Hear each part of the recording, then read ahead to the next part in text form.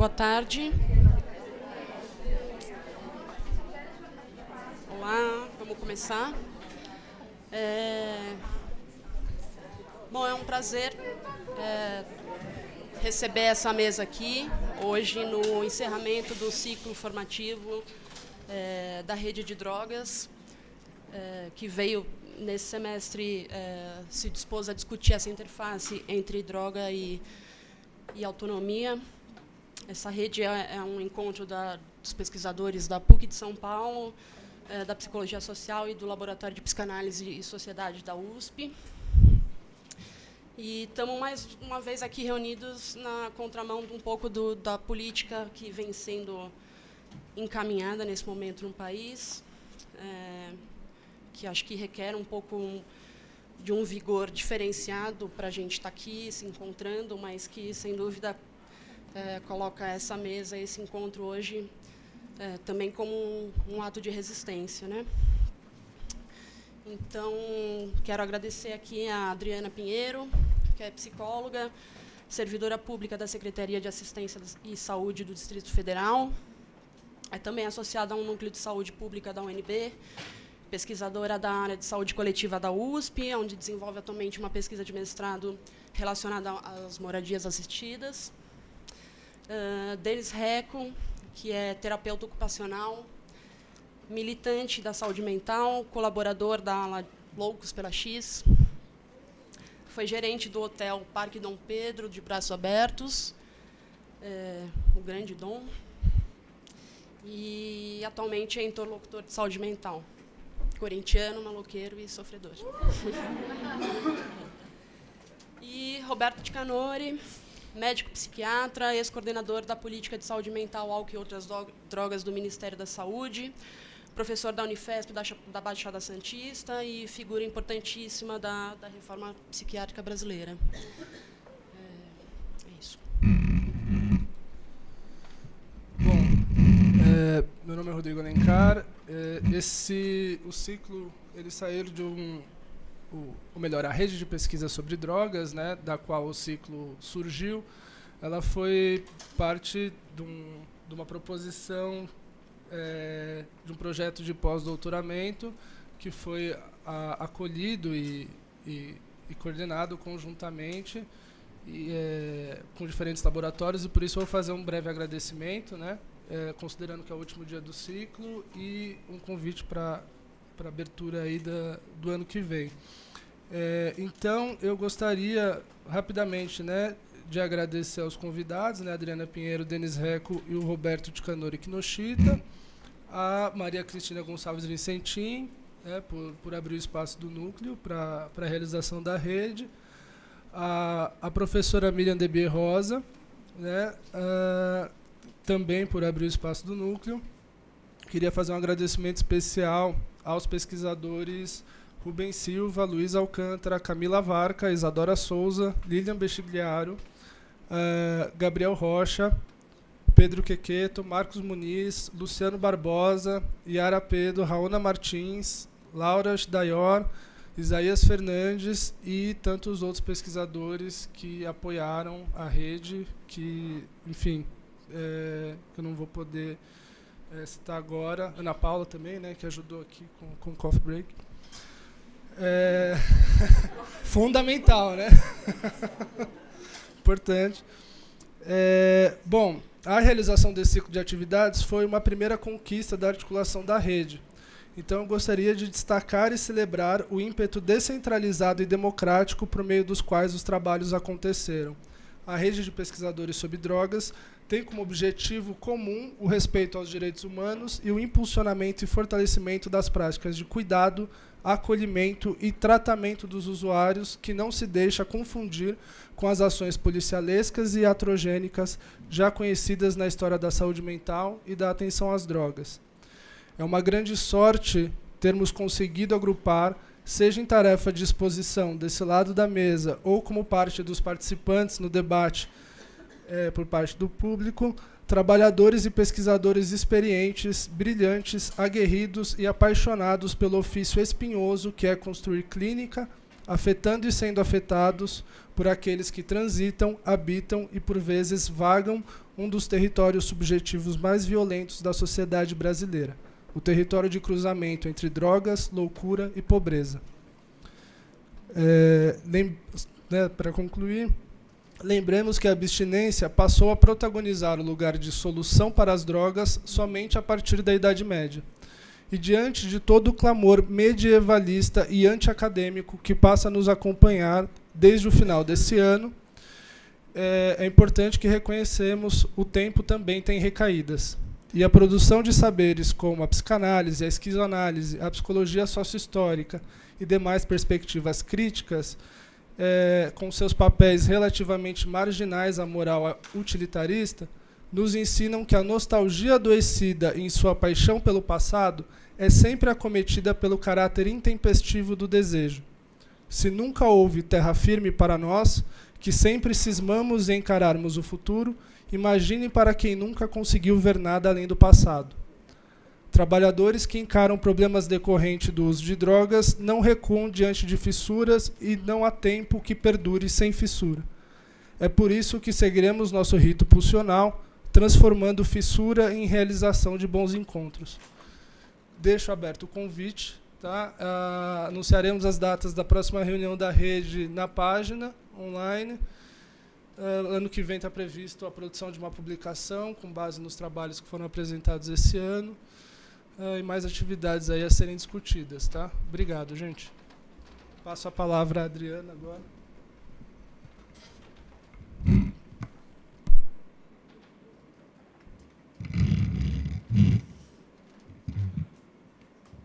Bom, boa tarde. Quero agradecer o convite, principalmente eh, em nome da professora Maria Cristina, Lilian e Isadora.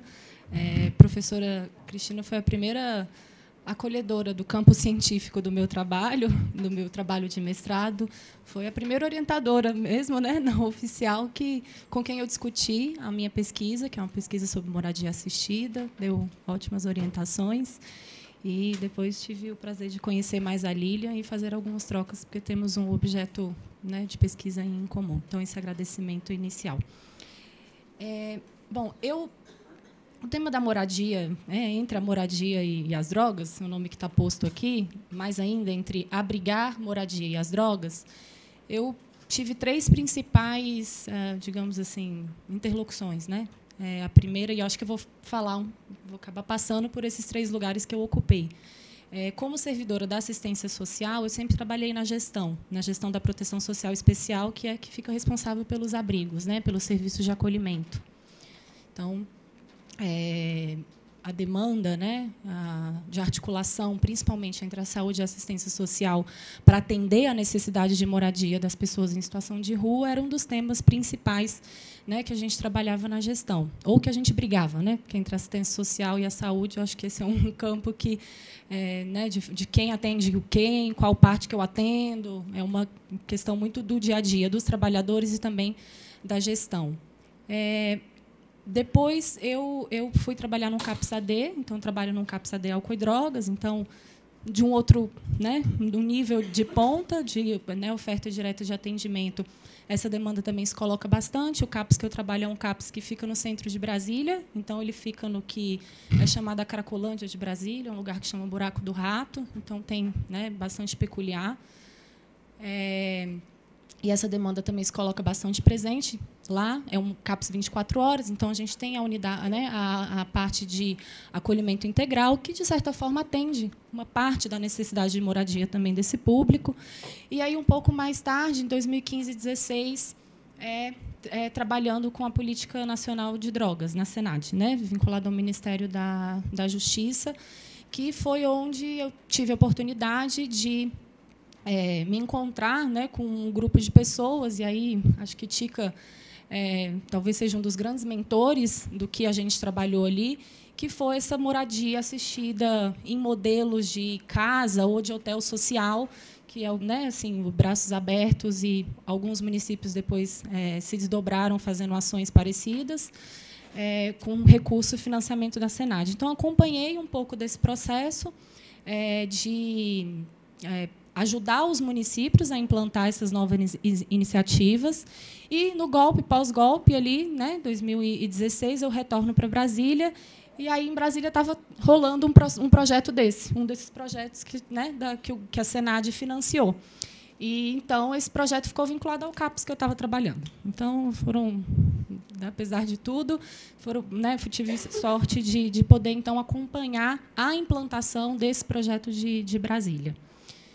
Então acho que a minha fala ela, né, passa um pouco por essas essas três questões. Quando a gente estava, a Tica vai poder falar muito melhor sobre a origem.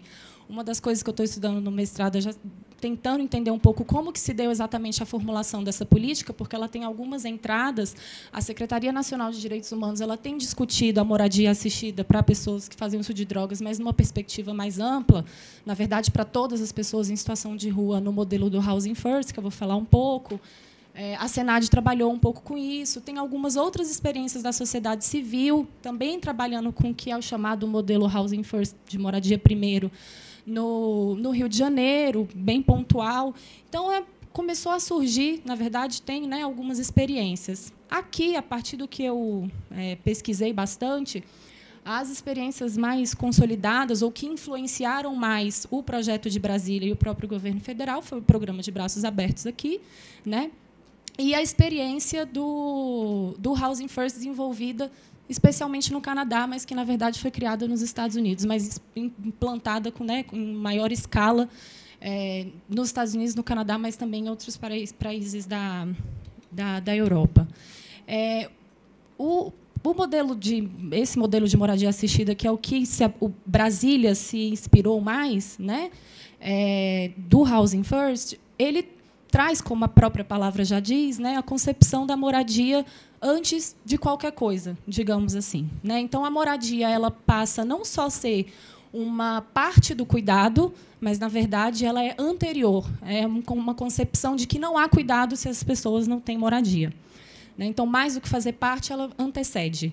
Né? É, as principais diretrizes desse modelo estadunidense, mas em toda a implantação em outros países, segue, de uma certa forma, esses dois outros princípios, que é o princípio da redução de danos, né? claramente, é, o principal, é a principal diretriz do, do modelo, é, de não exigir né, que as pessoas parem de usar drogas ou não exigir nenhum tratamento, nem psiquiátrico e nem para dependência química, para que sejam aceitos ou para que permaneçam né, no, nos equipamentos, nas casas, na verdade e a reabilitação psicossocial como um todo, né? que ali nos Estados Unidos e no Canadá também tem o recovery, que não é a mesma coisa, né? que reabilitação psicossocial, tem suas diferenças, mas comungam ali de, das questões de você colocar o, o, o morador, o usuário, como central é, no atendimento, atendimento individualizado, que deve passar necessariamente pela inserção social, que não existe esse cuidado da saúde, de, né, de, de cuidado é, de, da situação de drogas ou da saúde mental, que não passe pelo trabalho, pela relação com as pessoas é, e, e pelo convívio social, que Tica escreve isso muito bem, num texto né, daquele livro Reabilitação Psicossocial, quando ele traz a concepção da contratualidade. E, então, esse foi isso que inspirou, né, de uma certa forma, o que a gente tentou fazer em Brasília.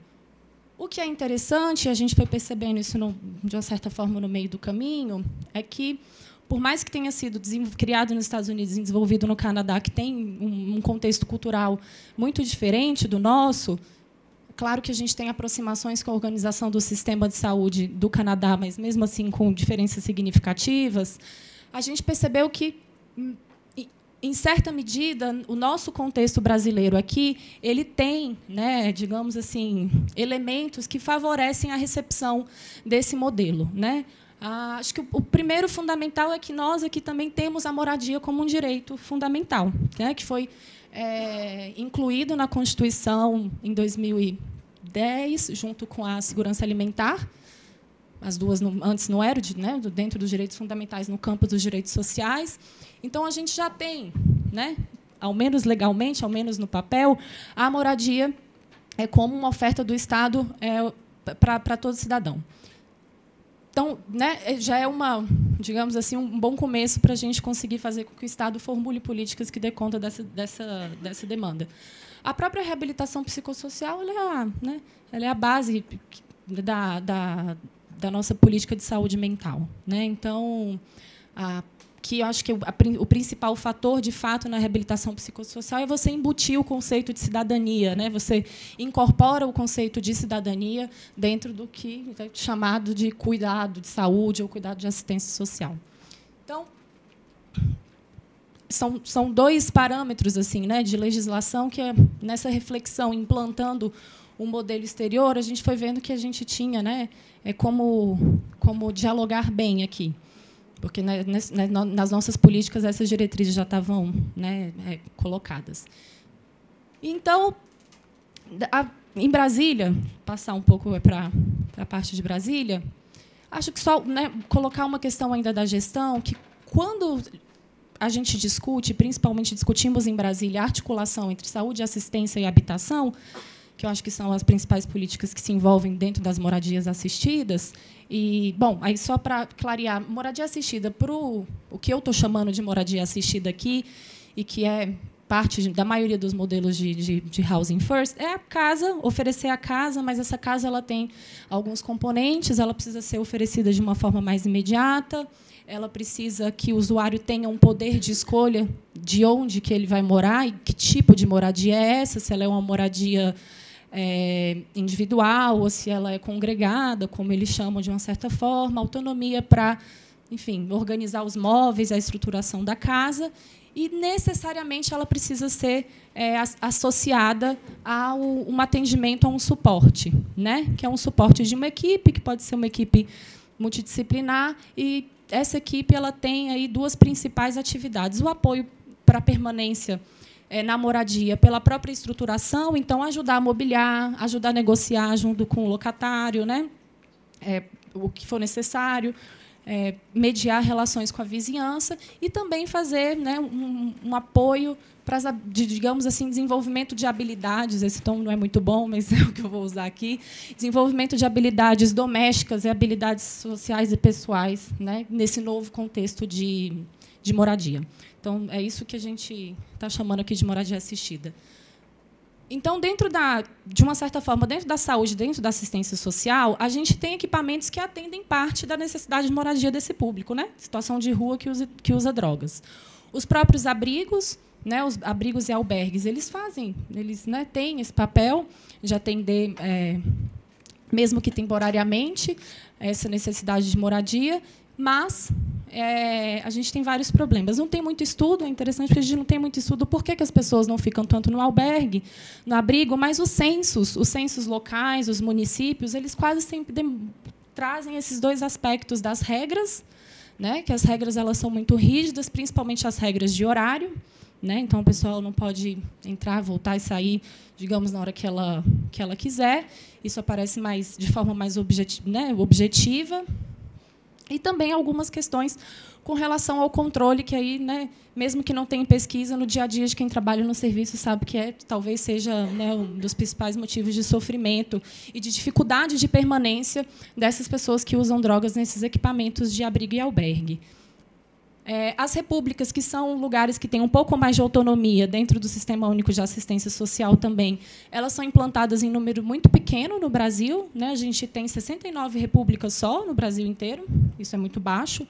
As repúblicas foram criadas em 2009 na assistência social, é, mas elas são um modelo de maior autonomia, onde, de fato, essas pessoas poderiam ter suas necessidades mais atendidas, né? pelo menos em, em teoria. E, as e dentro da, da saúde, as próprias UAs vinculadas aos CAPS-ADs. Né? Também não tão recente assim, 2011, né? não estou errada, mas menos de 100 no Brasil, todo também, né? menos de 100 UAs. Que também faz a gente pensar um pouco. Né?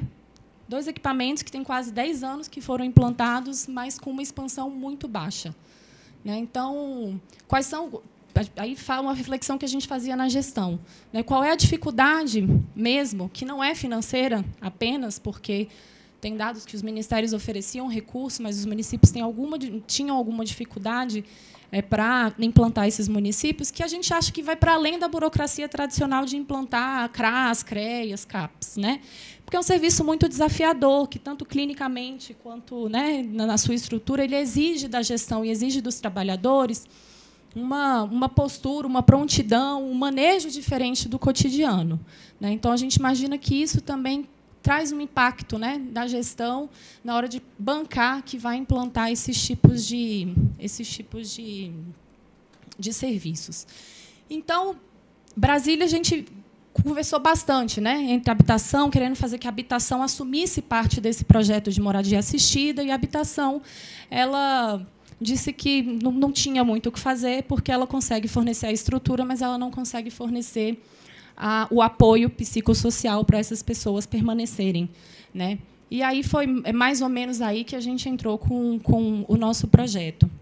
O projeto ele foi financiado pela Senad, ele começou em maio de 2017. A proposta inicial era para de atendimento a 30 pessoas, no modelo de moradia individual, casas ou apartamentos, alugados na comunidade de forma dispersa. Né? É, o público específico era desse desse território do Capsadê que eu falei para vocês, chamado de Buraco do Rato.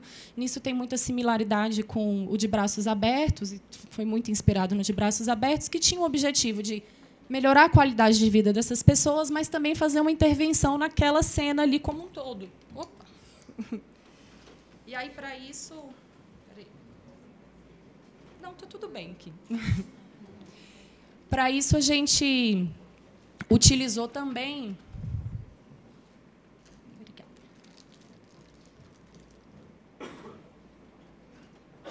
Acho que tá bom. A gente utilizou também lá a metodologia do tratamento comunitário, que eu não sei se alguém conhece aqui, que é do Efrem, desenvolvida pelo Efrem Milanese, que é um italiano, que também foi uma metodologia é, que a Senad financiou, de uma certa forma, publicações, enfim. Então, a gente tinha essas duas principais diretrizes: o Housing First, para fazer o acompanhamento das pessoas na moradia, e o tratamento comunitário, para tentar fazer intervenção ali no, no, no local. É, a gente começou com 24 pessoas na moradia. O, o projeto ele teve quatro etapas, né, por assim dizer. Primeira etapa de que durou quatro meses de reconhecimento, observação, estabelecimento de vínculo com os, os moradores desse desse território do Buraco do Rato. Depois a seleção e a inclusão dos beneficiários. A seleção, o critério principal, né, digamos, era o maior grau de vulnerabilidade, e aí tinham dois critérios assim é, maiores, que era estar na rua há mais de seis anos e ter transtorno mental. Né? Então, era, a gente começou a, a entrar por aí. E depois, de fato, fazer o aluguel e a estruturação das casas e o acompanhamento. Né? É, hoje, o projeto já está com 12 18 meses de execução, é, 24 pessoas conseguiram, né, a gente conseguiu colocar 24 pessoas nas, nas moradias. Com relação, acho que dois aspectos que eu acho interessante ressaltar nisso, né? Como a gente chega nos 24 e por que não chegamos a 30, por exemplo, né? É, o primeiro que o critério que nós estabelecemos, esses dois que eu, que eu acabei de dizer, ele, a gente não conseguiu atingir o número em cima desses dois critérios. A gente não tinha tantas pessoas com transtorno mental grave no território, a gente tinha quatro, três, quatro e duas entraram no, no, projeto, inclusive, mas a equipe ela traz, o interessante é que a equipe ela traz uma outra demanda principal, que é uma característica aí do território de Brasília, que é muito diferente desse, desses critérios de, né, esses critérios que são de fora. Ali a principal questão são mulheres em situação de muita violência, né, é, estupradas e espancadas sistematicamente na rua, é, profissionais do sexo, né, também numa situação de desproteção muito grande, e aqueles usuários que estão ali no limbo, no fio da navalha, como a gente fala, para serem presos, né, porque estão envolvidos com tráfico. Então, a equipe, que é uma equipe que foi cuidadosamente selecionada, uma equipe que tem, tinha pessoas que já estiveram em situação de rua, militantes, redutores de danos, eles traziam isso como a principal demanda. Que eles falaram, ó, esse aqui vai morrer, esse aqui vai voltar a ser preso, essa aqui vai morrer também espancada. Então, essas são as pessoas prioritárias. Né? Então, nisso, o perfil, de uma certa forma, né, foi se, obviamente, adequando à realidade da, da, ali do, do território. Outras questões interessantes é que três, até trouxe aqui um geral desses números, três pessoas elas chegaram a escolher as casas e elas não foram. Elas foram a peregrinação, porque é uma peregrinação para você conseguir alugar a casa para essas pessoas, né? Os proprietários se recusam, tem gente que passa por nove casas até conseguir alguma, eles olham de cima a baixo, quando veem que a pessoa está em situação de vulnerabilidade, né, aquela vulnerabilidade, eles não querem. Tem uma discussão em outros países se, na verdade, os locatários devem saber que a casa é para o programa ou não. A Espanha, por exemplo, ela não, ela não chega e fala: oh, você está alugando uma casa para qualquer outra pessoa. A gente fez essa discussão, a equipe entende que o modelo de casa que a gente alugou, quase sempre, em Brasília tem muito, não sei se aqui tem, que são esses terrenos onde você tem várias, né, várias quartos, salas, kitnets, enfim quase sempre os proprietários moram no terreno, né? ou então tem uma relação importante. E a equipe entende, entendeu, e hoje isso parece fazer muito sentido com parte dos resultados preliminares, que essas pessoas elas são muito importantes de serem incluídas no cuidado desses moradores. E que não dava, então, para você chegar e falar, olha, vai vir morar com qualquer pessoa e depois, puf, aparecia né, o, o perfil que não era o que eles estavam esperando. Então, essa né, foi uma, uma questão. Uma, uma, o que a gente vai estou tentando abordar na, na pesquisa é escutar esses ex-moradores, os que saíram das casas e os que não quiseram ir, para entender um pouco os motivos, né? Por que, que você não quis ir para casa? tentar entender um pouco melhor o que, que essas pessoas esperam de fato de uma casa e o, os que ficaram foram incluídos, mas saíram, que são muitos também, vou ter que tem 13 entre desistências, desses 24, a gente teve 13 desistências ou desligamentos, né, que são questões diferentes. O que, que aconteceu também com essas pessoas para a gente tentar entender melhor, né, o que que o que, que pode ser melhorado e rearranjado. Dentro das desistências, é, também chama atenção, tem, é uma diversidade, o que é bom, né, que aí não é unifatorial, como as pessoas normalmente senso comum acham, ah, eles vão agredir, vão roubar e tal. A gente teve só dois desligamentos, digamos assim, por descumprimento mais grave, que um foi uma agressão a um profissional e outro foi um roubo dentro do próprio terreno. Essas pessoas foram desligadas, mas duas prisões. Né? A questão da prisão é muito forte. A gente teve duas prisões e dos 24 inseridos, 18 já estiveram presos. Então essa, é, esse é um é, de fato é uma realidade, um marco muito interessante assim. Aí é muito muito muito, né, acho que aqui muito característico mesmo nosso.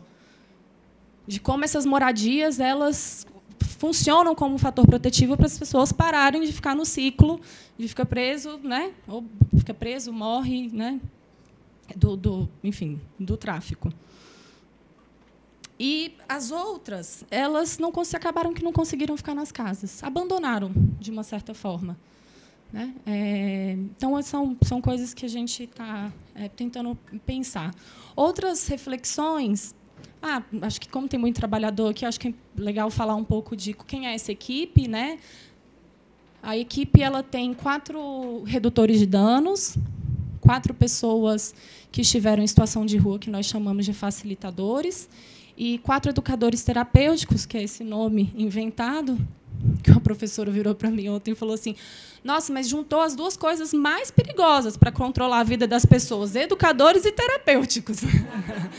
que a ideia era um pouco, de fato, de um misto de função de educação, de educação social de rua, popular de rua, e de acompanhamento terapêutico. Era, era essa a intenção. Uma pessoa que. É, poucas habilidades né, ela deveria ter que era ah, de fato era o profissional responsável um pouco pelo gerenciamento do cuidado, né, como se fosse o gestor do caso, é, mais ou menos por aí. Então a gente faz, fez trios, né? Eram três profissionais, um de cada uma das, dessas categorias, para fazer inicialmente o cuidado de 10 casas, 10 pessoas, né? Isso foi totalmente reformulado depois, o que também é interessante. Porque as pessoas elas têm perfil que vão além dessas categorias. Quem está no serviço sabe, o cara que entrou como redutor de danos, ele funciona bem melhor fazendo o, o trâmite dos aluguéis, e o cara que era facilitador tem mais afinidade para fazer outra coisa. Então, a equipe foi se reorganizando nas atividades e a gente acabou perdendo um pouco desses trios e ficou com duplas que cuidavam das, das casas. Iniciamos fazendo o acompanhamento das casas por vínculo. Então, aquela pessoa que você se vinculou no território, você seguia acompanhando, o que também depois teve que ser reorganizado por uma questão logística do território. A equipe tinha que sair segunda e terça para a área norte da cidade e nos outros dias para a ala sul. Então, isso também gerou uma, uma outra reorganização. É, tem uma discussão interessante sobre o modelo disperso e o modelo congregado. Né? Os, os moradores eles falam muito sobre a solidão, né? eles sentem, de fato, é, muita saudade, acho que é saudade do, dos vínculos do buraco do rato, desse lugar. Tem gente que mora ali há 10 anos, né, há 15, é, ou que, pelo menos, frequenta esse território esse, é, por esse tempo. E o projeto, no início, conseguiu é, fornecer um vale transporte para que essas pessoas pudessem, ao menos, quando quisessem, ir voltar para o centro de Brasília, que é onde o, o, o CAPS ficava, esse território, e, e, e voltar para casa. Mas isso, né, a burocracia do Distrito Federal não permitiu que isso continuasse. Então, aí as pessoas ficavam ali no, no, território, às vezes iam, ficavam uma semana até juntar o dinheiro de novo, voltar para casa. Então, essa é uma questão é, importante de, de, de, se pensar e de refletir nessas casas, é, porque a equipe também ela fica com a expectativa de que as pessoas vão permanecer e que elas não vão voltar a esse território, que a vida vai radicalmente ser mudada e que esses vínculos vão ser rompidos de uma certa forma. Algumas pessoas esperam de fato que os vínculos com a rua sejam rompidos e acho que o caminho que se mostra mais é que eles podem ser transformados mais do que rompidos, né? De fato, eles se transformam, e dependendo do, do apoio que a gente consegue, o que, que a gente consegue fazer para que outros vínculos se fortaleçam. É, isso gera muita frustração na equipe, uma coisa que precisa ser muito trabalhada com supervisão externa, com análise institucional. É, é, de fato, é, gera uma desorganização no serviço, porque, a partir disso, o controle, de fato, que começa a ser exercido sobre a vida das pessoas, disfarçado de cuidado, como acontece no CAPSAD, como acontece em outros lugares, é, é, é grande, e, e a equipe precisa de muito apoio para sustentar esse manejo clínico. Porque a gente tinha uma. O que, às vezes, é o, é o lado sei lá, ruim do serviço público, que às vezes nós não conseguimos, digamos, selecionar pessoas com perfil, a gente escuta muito isso, né? Ah, servidor público, então, não tem um perfil para trabalhar no CAPS, mas está lá. A gente conseguiu fazer isso né, na seleção, acreditamos, muito militantes, pessoas extremamente militantes, que trabalhavam na área há muito tempo, mas com muita dificuldade no manejo clínico. Não que os servidores públicos tenham, né? nós temos também muita dificuldade no manejo clínico. Mas, mas pessoas é, com formação inicial ainda, né, no, no, tema, e que não tiveram apoio. A minha dúvida não é nem se essas pessoas não poderiam fazer esse trabalho. Porque o que essas pessoas fazem, eu não vejo os meus colegas no CAPS AD dispostos a fazer. E muitas vezes nem eu, porque a minha vivência é outra. Né? Então, não é uma substituir um pelo outro, mas, de fato, é que apoio que a gente dá para essas não habilidades que esse grupo tem de manejo e que talvez não, né, não dá para ter tudo e que o próprio CAPS poderia dar e que não conseguiu. Então, o meu CAPS, que é ali daquele território que tinha tudo para ter uma boa articulação, não conseguiu se integrar ao projeto. Em parte, não, não se identificava com os princípios do projeto. A gente está priorizando drogado, né? casa, tem um monte de gente precisando, por que, que vocês é, vocês priorizam essas pessoas, e, enfim, uma série de, de, de, outros, de outros fatores. Então, a equipe, né, essa foi uma das questões que, que fica muito, muito forte com a, com a equipe. A outra, eu fiz um, dentro da pesquisa, fiz, eu fiz 80 horas de observação participante com os trabalhadores fazendo as visitas dessas moradias. De certa forma, eu elenquei quais são as principais práticas que eles desenvolvem. Né? É, muita prática de orientação, orientação a ah, como você acessa o benefício, onde você vai no posto de saúde para fazer alguma, né, algum procedimento de, de saúde, trabalho, carteira. Então, tem uma série de práticas que são de orientação, ou dentro da orientação, uma série de sub, né, digamos assim, de subpráticas.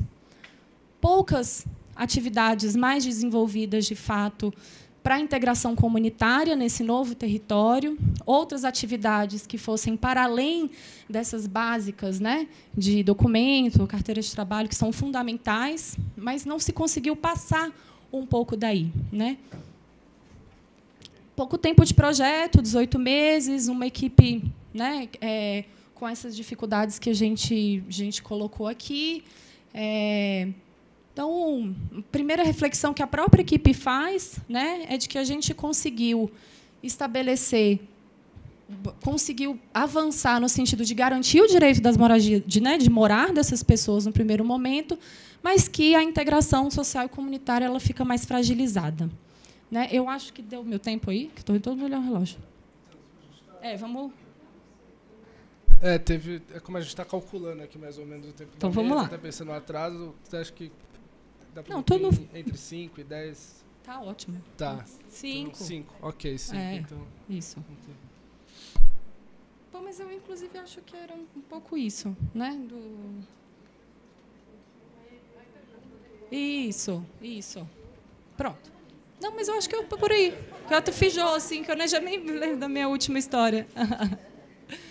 mas é, acho que no que tiver mais de dúvida, a gente pode aprofundar.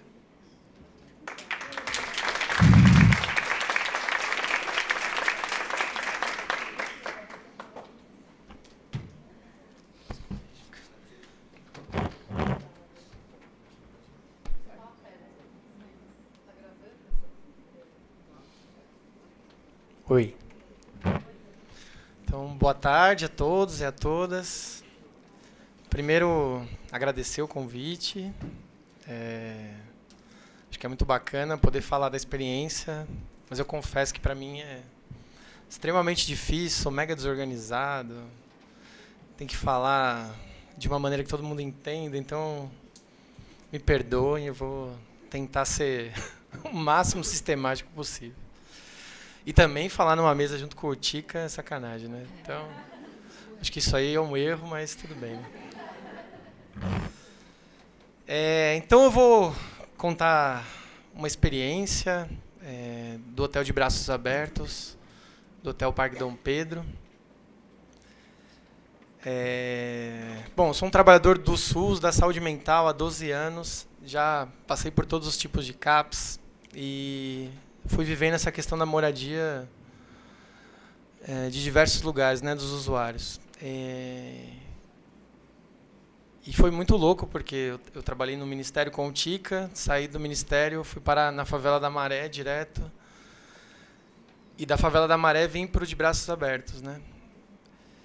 E, pô, e era um contexto maravilhoso, né? O de braços abertos foi feito na gestão do Haddad, é, inicialmente ficou mais restrita à região do centro, da Cracolândia. E aí eu venho num contexto de ampliação e mais do que isso, de ter hotéis próprios, né? Porque no começo do programa os hotéis eram eram vagas contratadas, então os hotéis tinham donos, é, tinha outras regras. Então eu venho para coordenar o primeiro hotel de fato próprio, né? O que é muito bacana, mas era um desafio imenso. Assim. Acho que eu vou contar histórias aqui, mas é, longe de romantizá-las, porque acho que o trabalho era extremamente árduo, sim. Pediu muito corpo nesse tempo, tipo, emagreci uns 10 quilos de tanto trabalhar. Acho que o desafio de coordenar um serviço que é 24 horas, que a gente acha super bacana, mas é um para quem já foi, sabe o quanto de energia que gasta, né? E, e além de tudo, era um hotel no centro com 105 moradores, né? E oito andares com um elevador que mais quebrava do que funcionava. É... Então é isso. O programa garantia moradia é, alimentação e trabalho para todo mundo. E o, o, Hotel Parque Dom Pedro era interessante porque, além de ser um hotel próprio, tinha uma estrutura melhor que a dos outros.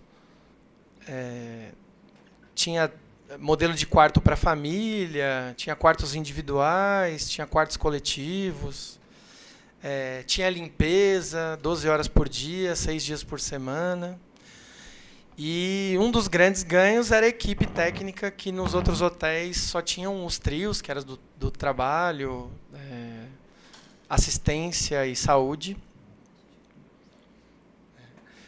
E, além de tudo, que eu acho que é uma coisa bastante importante, é, era a possibilidade de contratar pessoas muito bacanas, assim, porque tinha um bom salário e não tinha uma restrição de ah, só profissionais da saúde.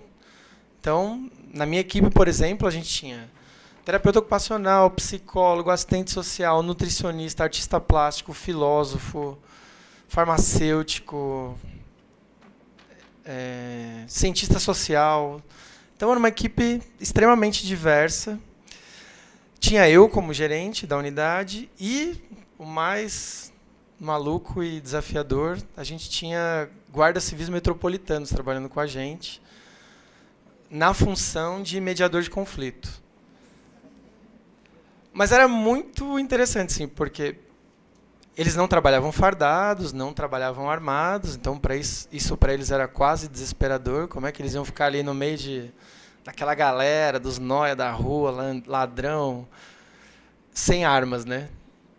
E, e além de tudo, serem gerenciado por mim, né? Imagina um polícia tendo que responder para mim, assim. E já era logo no começo a gente já teve problemas porque eles ficavam todos reportando ao, ao secretário de segurança. Só que o secretário de segurança aí fez uma reunião, teve que chamar todo mundo e falou: ó, quem manda aqui é ele. Então vocês vão ter que responder para ele, o que já era super engraçado. É, o hotel também favorecia uma maior autonomia para os moradores. Então, por exemplo, todas as regras do, de funcionamento do prédio era decidido em assembleia que é super bacana, super desafiador, porque você imagina uma assembleia que vá 30% dos moradores, é uma assembleia lotadíssima, cada um pensando de uma coisa.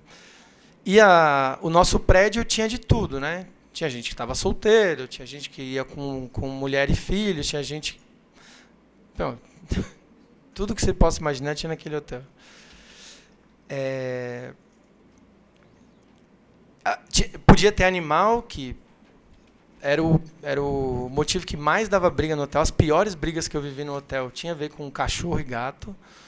Porque as pessoas podiam se matar entre si, xingar, não tinha problema nenhum. Mas se alguém encostasse num bicho. Tanto é que no, no, os hotéis tinham uma questão muito de transferência das pessoas. Porque arrumava briga, transferia. E a gente evitava ao máximo transferir alguém.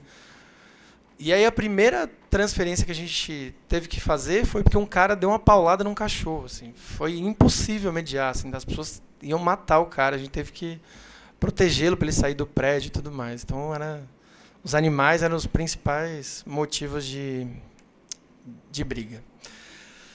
Então assim, o então eu vou contar um período de oito meses que eu fiquei só enquanto o Haddad ainda era prefeito, enquanto a gente tinha investimentos. Acho que depois que, que acabou, não, não me fazia muito sentido, porque era isso. Eu precisava estar muito de corpo inteiro ali e logo de, depois da virada da gestão, as coisas já começaram a piorar logo de início. Então eu vou contar de um período muito favorável, né? Então, acho que uma das coisas mais bacanas do hotel era essa possibilidade das pessoas decidirem as regras de funcionamento. E a primeira, que fez muito sentido para todo mundo, tinha a ver com a entrada e saída do hotel. Nos outros hotéis, a grande maioria tinha a regra, tinha tipo um horário para entrar, então se o cara passasse das 10 horas da noite, nem adiantaria ele voltar para casa. Então o cara estava ali na Cracolândia, por ali mesmo ele ficava. E acho que essa foi a primeira grande mudança, assim, com a possibilidade de voltar para casa a qualquer hora as pessoas já começaram a diminuir bastante o uso. Assim. É, acho que uma coisa muito legal também é que rapidamente os quartos começaram a ter uma cara de, de casa. Assim. Então, com as pessoas iam fazendo compra nas casas Bahia, era muito doido. Assim, no começo a gente meio recebendo tudo, e aí de repente apareciam uns móveis e falava, não, mas não tem, a gente não comprou isso. Não, aí falava, vai, isso daqui é do quarto 45. Daí chegava lá, o cara tinha feito uma, uma compra de armário das casas Bahia, assim. E é isso, planta, as pessoas começaram a pintar as portas, sei lá, tinha um andar que tinha muitas crianças, e as crianças pintavam o andar inteiro com as mãos, assim, passando tinta. No... Então, rapidamente foi ganhando uma, uma carinha de casa, assim. E também, acho que a, a vida das pessoas foi melhorando porque, como eles diziam, era, uma, era a primeira vez que eles conseguiram dormir com os dois olhos fechados, assim, que tinham essa segurança de poder dormir e acordar sem ter o sono interrompido ou sem ficar com medo do que iria acontecer. O começo também, acho que o que a gente mais foi enfrentando né, tinha a ver com as brigas de casais, assim, muito viol muita violência, e acho que uma coisa interessante é que com o tempo as pessoas foram entendendo que a gente poderia mediar essas histórias assim, porque acho que no começo tinha uma coisa meio de ah, essa história de que briga de marido e mulher não se mete a colher. Mas com o tempo a gente ia meio batendo na porta, perguntando o que estava acontecendo. E foi interessante que tanto para o homem quanto para a mulher, eles foi, foram começando a contar com a gente para essa mediação. Então, quando a coisa começava a ficar difícil, então eles desciam e falavam, ou o cara descia e falava, ó, oh, a coisa tá feia, sobe lá, fica com ela porque eu vou dar uma volta. Isso em pouco tempo a gente começou a, a perceber muita diferença, assim, porque eram histórias de violência absurda, as pessoas chegavam muito machucadas e tal. Isso assustava demais a equipe, mas com o tempo eles foram permitindo também que a gente participasse disso, né? Acho que a gente foi vendo também a vida acontecer ali. Casais se formando, novos casais, gente chegou casada com uma pessoa, terminou casada com outra, e com toda a beleza e dificuldade que isso vai fazendo, porque cada vez que tinha uma briga, a gente, como não transferia a priori, a gente pensava numa reorganização dentro do, do próprio hotel, né? E é isso, como as pessoas vão entendendo e construindo aquele lugar como sua casa, qualquer tipo de substituição, pedido de troca, era uma atividade extremamente penosa, mas também interessante assim, que a gente pudesse discutir os motivos, às vezes na assembleia, por que tanta mudança de quarto. E é isso, sem romantizar, era muito difícil, xingamentos, brigas, gente puta da vida com a gente. Mas é, era possível. Acho que o mais bacana da casa eram as áreas comuns, né? Lá no, no oitavo andar a gente tinha uma tinha uma sala de convivência que tinha televisão e também tinha uma cozinha coletiva, né? E uma dificuldade que a gente tinha é que a, a alimentação deles era no Bom Prato e só que era muito longe do, do, do Parque Dom Pedro, né? Mas foi interessante que isso foi fazendo com que eles fossem se virando, assim. Então a cozinha coletiva foi era o lugar mais incrível da casa, assim, porque as pessoas ficavam lá cozinhando e aí com o dinheiro que elas tinham também elas faziam compras, iam, iam pedindo coisa no, no mercado municipal. Então aquilo foi ajudando muito a gente criar uma coletividade na casa, né? Que ela, era a possibilidade de cozinhar. E tanto era bacana que a gente tinha muitas questões com roubo de coisas, né? Tipo lâmpada, assim. Lâmpada lá era tinha que trocar quase uma vez por semana. Mas se tinha um lugar que as coisas ficavam intactas era na cozinha, assim. Tipo, por exemplo, o tijão de gás que tem um super valor, não era roubado nunca, assim. E a televisão também. Então, esses lugares que foram ganhando sentido mais rapidamente para todo mundo, eram os lugares mais preservados pelos moradores. Então, até para fazer a limpeza. Então, por exemplo, de final de semana, quando a gente não tinha equipe de limpeza, era mais tranquilo combinar com eles a limpeza da área comum do que, por exemplo, dos quartos. Ah, e, isso também foi uma coisa que fazia o, o uso diminuir absurdamente. Porque, por exemplo, às vezes a galera sentava para fazer um jantar e aí o clima ficava tão bom na casa, de todo mundo estar tá ali conversando, que a galera falava: ah, não, hoje eu não vou sair não, hoje eu vou, vou ficar por aqui porque está gostoso e tal. E uma coisa interessante também pensando na redução de danos, era. Por exemplo, a galera vinha do trabalho e, e ao invés de ir para a Cracolândia direto, a galera passava em casa, tomava um banho, passava um perfume. E, aí ia mais arrumadinho lá, né? Porque é isso, não vão lá só para usar droga, né? Lá vão, vão para conversar, tem, tem um milhão de coisas ali. É, acho que outra coisa que o hotel foi proporcionando de muito bacana era de ter uma cena mais protegida do uso, assim. Apesar deles decidirem em grupo que nas áreas comuns não se faria uso, dentro dos quartos, a, cada um fazia o que queria, né? Então a, o pessoal começou a, utilizar isso, de ir lá comprar uma quantidade X, que normalmente era menor do que ele se ficasse lá usando, e, e usar dentro do quarto. E aí acho que uma coisa também que foi ficando interessante era que na relação com a equipe também era, foi ficando possível a gente estar próximo deles nesses momentos. Porque no começo era uma questão muito de vergonha, de olha, eu usei, então não vamos conversar, não fica perto. E com o tempo, com a confiança, com o vínculo que foi se formando, é, a gente foi conseguindo ficar perto, inclusive nesses momentos, para mediar um pouco isso. Né? É, acho que uma questão também muito bonita do hotel, né, tinha uma família que, inclusive quem trabalhou no centro deve conhecer, porque é uma família extremamente famosa, com, com uma quantidade de filhos, são quatro filhos, não, são cinco filhos, um adulto e um neto, todos eles moravam com a gente, e no começo, no começo não, né? Todo o tempo sempre foi uma grande questão, inclusive dentro do hotel, mas muito mais com a rede, de maneira geral, porque assim, nosso cotidiano era muito atravessado pela rotina das crianças, né?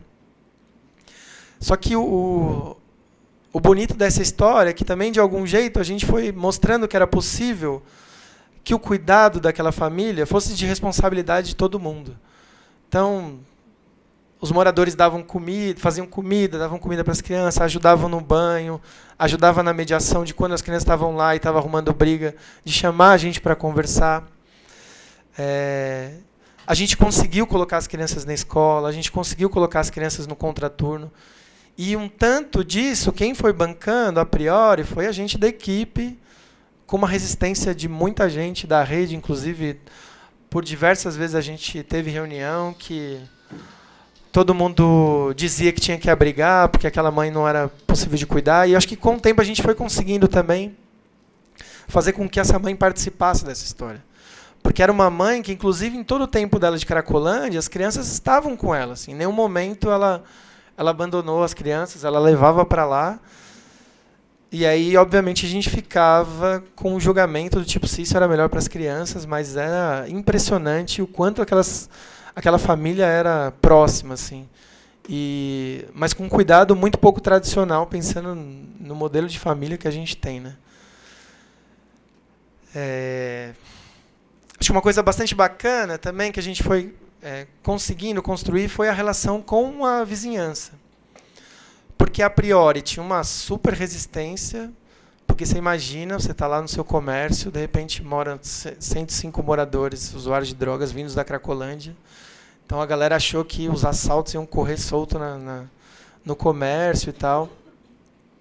E com o tempo, é, essa relação foi se transformando tanto que acho que tem duas coisas muito bacanas, que é uma, algumas pessoas começaram a trabalhar no comércio local, então saíram das frentes de trabalho e começaram a ser funcionários ali do, do, do, do, do comércio.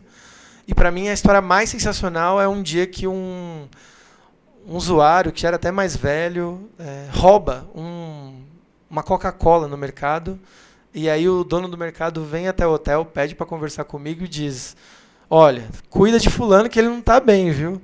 Porque ele veio aqui e roubou um, uma Coca-Cola. Porque em outro momento, com certeza, o cara chamaria a polícia e mandaria prender e o cara vem com o maior cuidado dizendo: Pô, ele não está bem, porque ele vem aqui todo dia, consome, paga e de repente a gente começa a estabelecer uma outra relação que os caras vão entendendo que essas pessoas é, precisam de cuidado, né? Acho que uma coisa que foi bastante dura, até pensando um pouco no, no que a Adriana estava contando, que a gente teve mais dificuldade foi na relação com a própria rede de saúde, assim. O quanto era difícil, mesmo estando dentro de um programa, a gente conseguir fazer com que essas pessoas acessassem o tivessem direito aos serviços de saúde. Por exemplo, a gente fazia uma discussão com a estratégia de saúde da família, dizendo, olha, isso aqui é um prédio, está dentro da região de vocês, a gente quer que o agente comunitário faça visitas, né? E aí eu arrumava, arrumei muita briga na rede por isso, assim, porque as pessoas queriam fazer visita por hotel. Eu falava, o hotel não precisa de visita, o hotel está ótimo. Quem precisa receber, receber visita são as pessoas e cada uma tem uma necessidade. Umas precisam mais, outras precisam menos.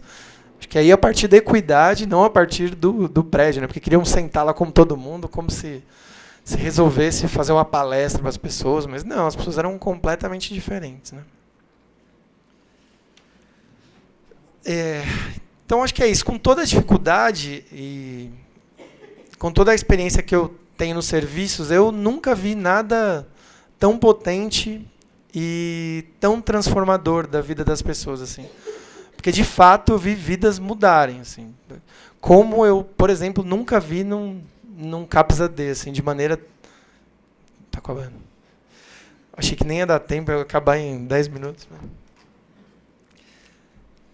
Mas acho que o, o que era mais potente. Uma é, assim, acho que as pessoas precisam de moradia, né? Precisam de moradia, precisam comer e precisam ter trabalho, né? É difícil a gente pensar na questão do uso sem essas outras coisas, né? O que faz sentido a gente falar para alguém, é, ah, esse uso tá tá demais, tá prejudicial. Que vida é essa? Porque o cara vai sair dali, depois vai, vai morar na rua, vai apanhar da polícia, não vai conseguir comer. E acho que uma, uma questão muito interessante é que tinha uma ousadia no projeto, né? Assim, de da gente poder estabelecer uma relação com as pessoas que não era mediado por essas coisas caretas que a gente vai fazendo na saúde, que é aquelas bobeiras do tipo, hoje é seu projeto, o que, que você está fazendo aqui hoje? Seu projeto tem comida? Então, acho que nosso trabalho não tinha nada a ver com isso, acho que a gente não precisava nem falar disso. A gente não, não perguntava para ninguém se a pessoa tinha usado ou não, ou com aquela coisa, ah, está intoxicado hoje. Acho que a gente nunca falou sobre isso, a gente falava sobre vida, acho que a gente falava sobre questões cotidianas, não perguntava se ninguém usava remédio. Então, por exemplo, dos 105 que estavam ali, se a gente tinha cinco que faziam tratamento mais efetivo no CAPS-AD, era muito. Assim. E nem por isso a vida dessas pessoas deixaram de mudar. Bom, acho que, e, e pensando como questões que ficaram, né, acho que é um, é um período curto, não deu tempo para a gente trabalhar tudo, né? Mas eu acho que uma dificuldade que a gente teve, e tem algumas pessoas aqui que trabalham de, trabalharam de braços abertos, foram vivendo, que é como é que a gente consegue cuidar desse trabalhador que, principalmente os que não são da saúde, né? Que não tem uma clínica por trás desse, dessa relação, porque é uma coisa que eu estava dizendo também que é uma, às vezes é uma caretice, mas também de algum jeito nos protege, né? Porque a gente teve morador, morador a gente teve trabalhador, inclusive foi parado na Cracolândia, né? De tão confuso que é essa relação. Porque senão também de algum jeito a gente vai glamorizando essa posição, né? Parece tão bacana, né? Tão sedutor também isso que de algum jeito se a gente não cuida do trabalhador, ele também vai se envolvendo de um jeito, vai minimizando o, quais são essas questões que estão ali, porque é isso, a Cracolândia é um lugar muito potente, muito cheio de vida, mas é um lugar principalmente de quem não tem lugar. E um lugar ainda dominado pelo tráfico de drogas, com regras extremamente rígidas. E, obviamente, se eu entro lá e faço um trabalho, alguma coisa, é, eu não vou viver a mesma violência de que um, do que um cara que está lá usando. Então, acho que um pouco ficou isso é, que a gente precisa cuidar. Mas é isso. Acho que o que eu tenho para contar um pouco é isso. E vamos conversar aí.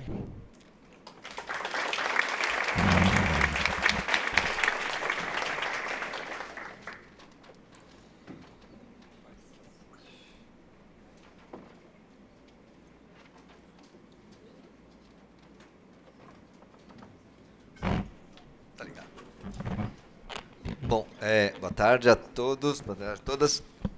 Quero agradecer a Cristina, o convite.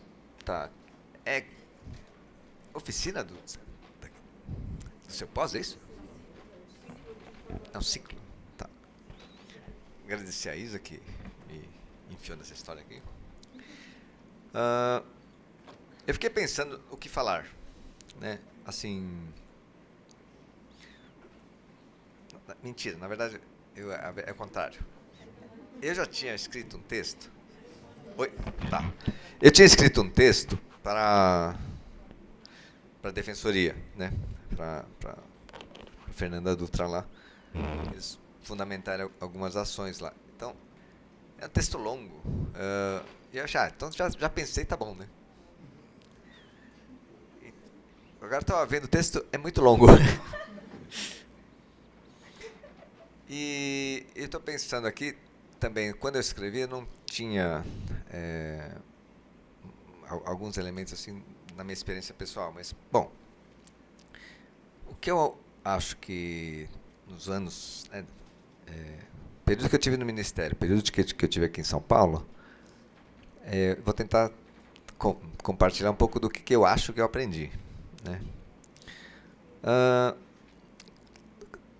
logo no ano 2011, 2012, né, é, a GIF, né, que é a Junta Internacional de é, Fiscalização de Entorpecentes, né, é, que é um órgão da ONU, é um órgão super duro, super conservador, né, solta um documento, que depois a gente tentou fazer eco, né, repercutir isso, que tem esse título né, saindo assim, é, da coerção à coesão.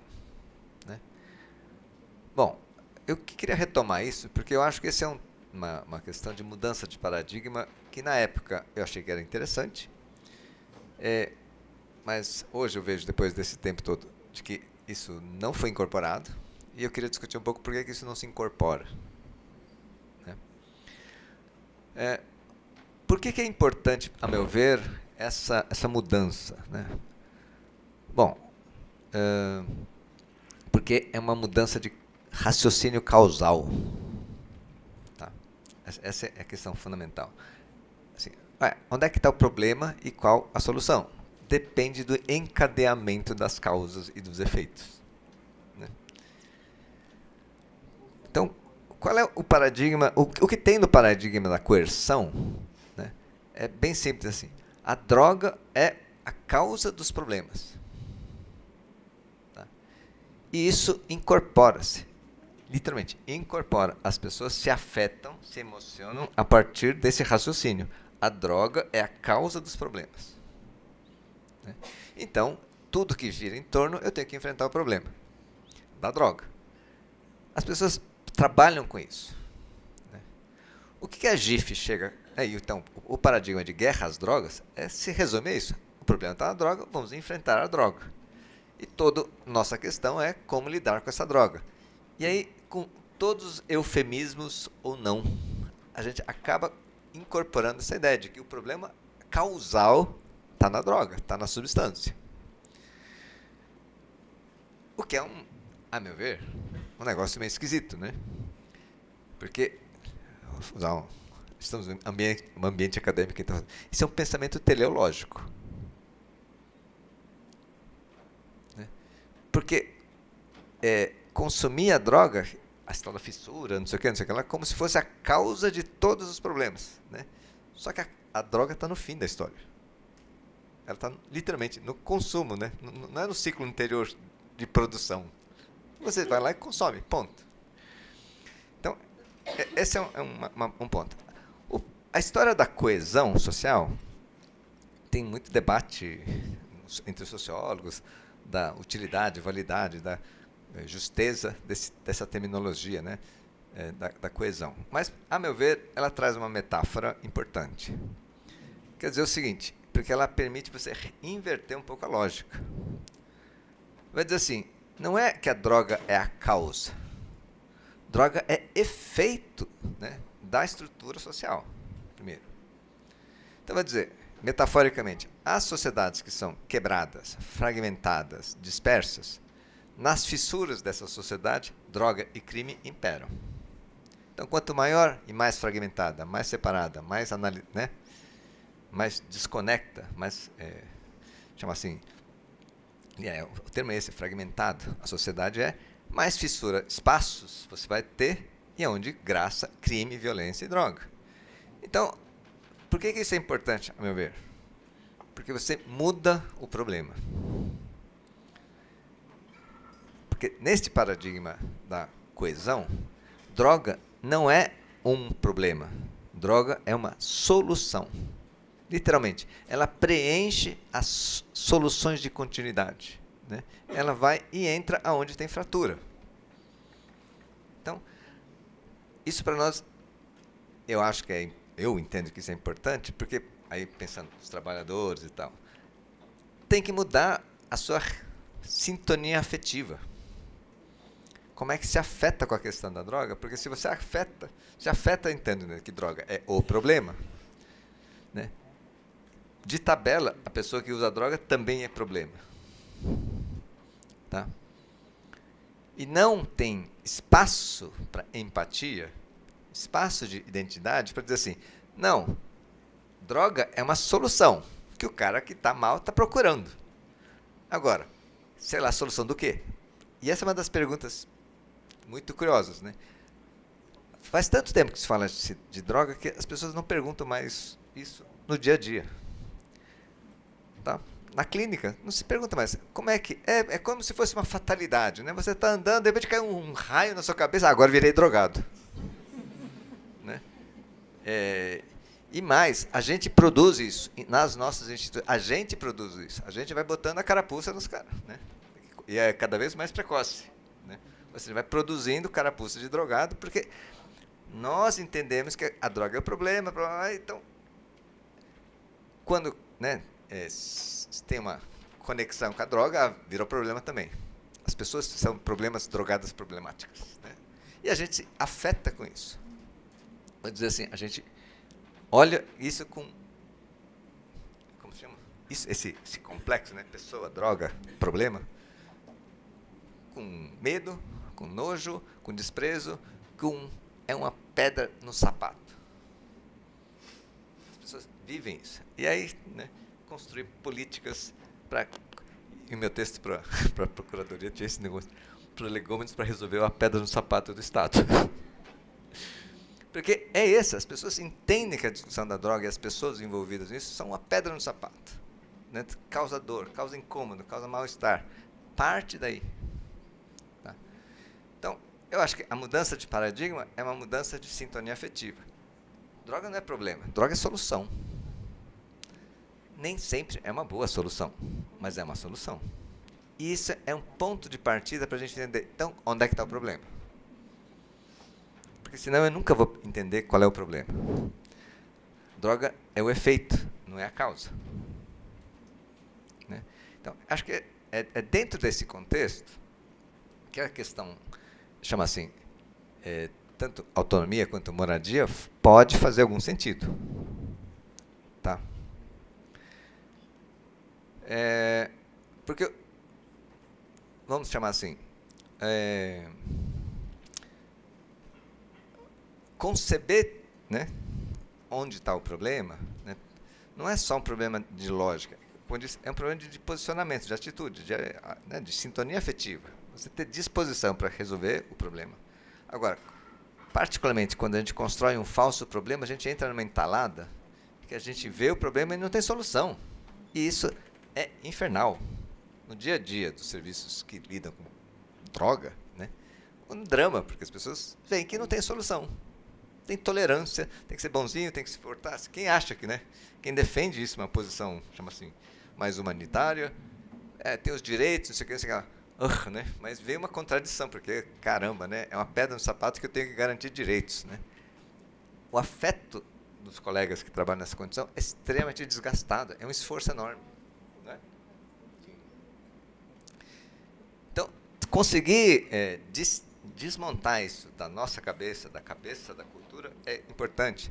Porque senão o problema da moradia é, não a gente interpreta errado. A gente interpreta a moradia como como se fosse um que é a tradição, né? Um prêmio, uma sedução, um, né, um token, né, para você jogar na relação, tá?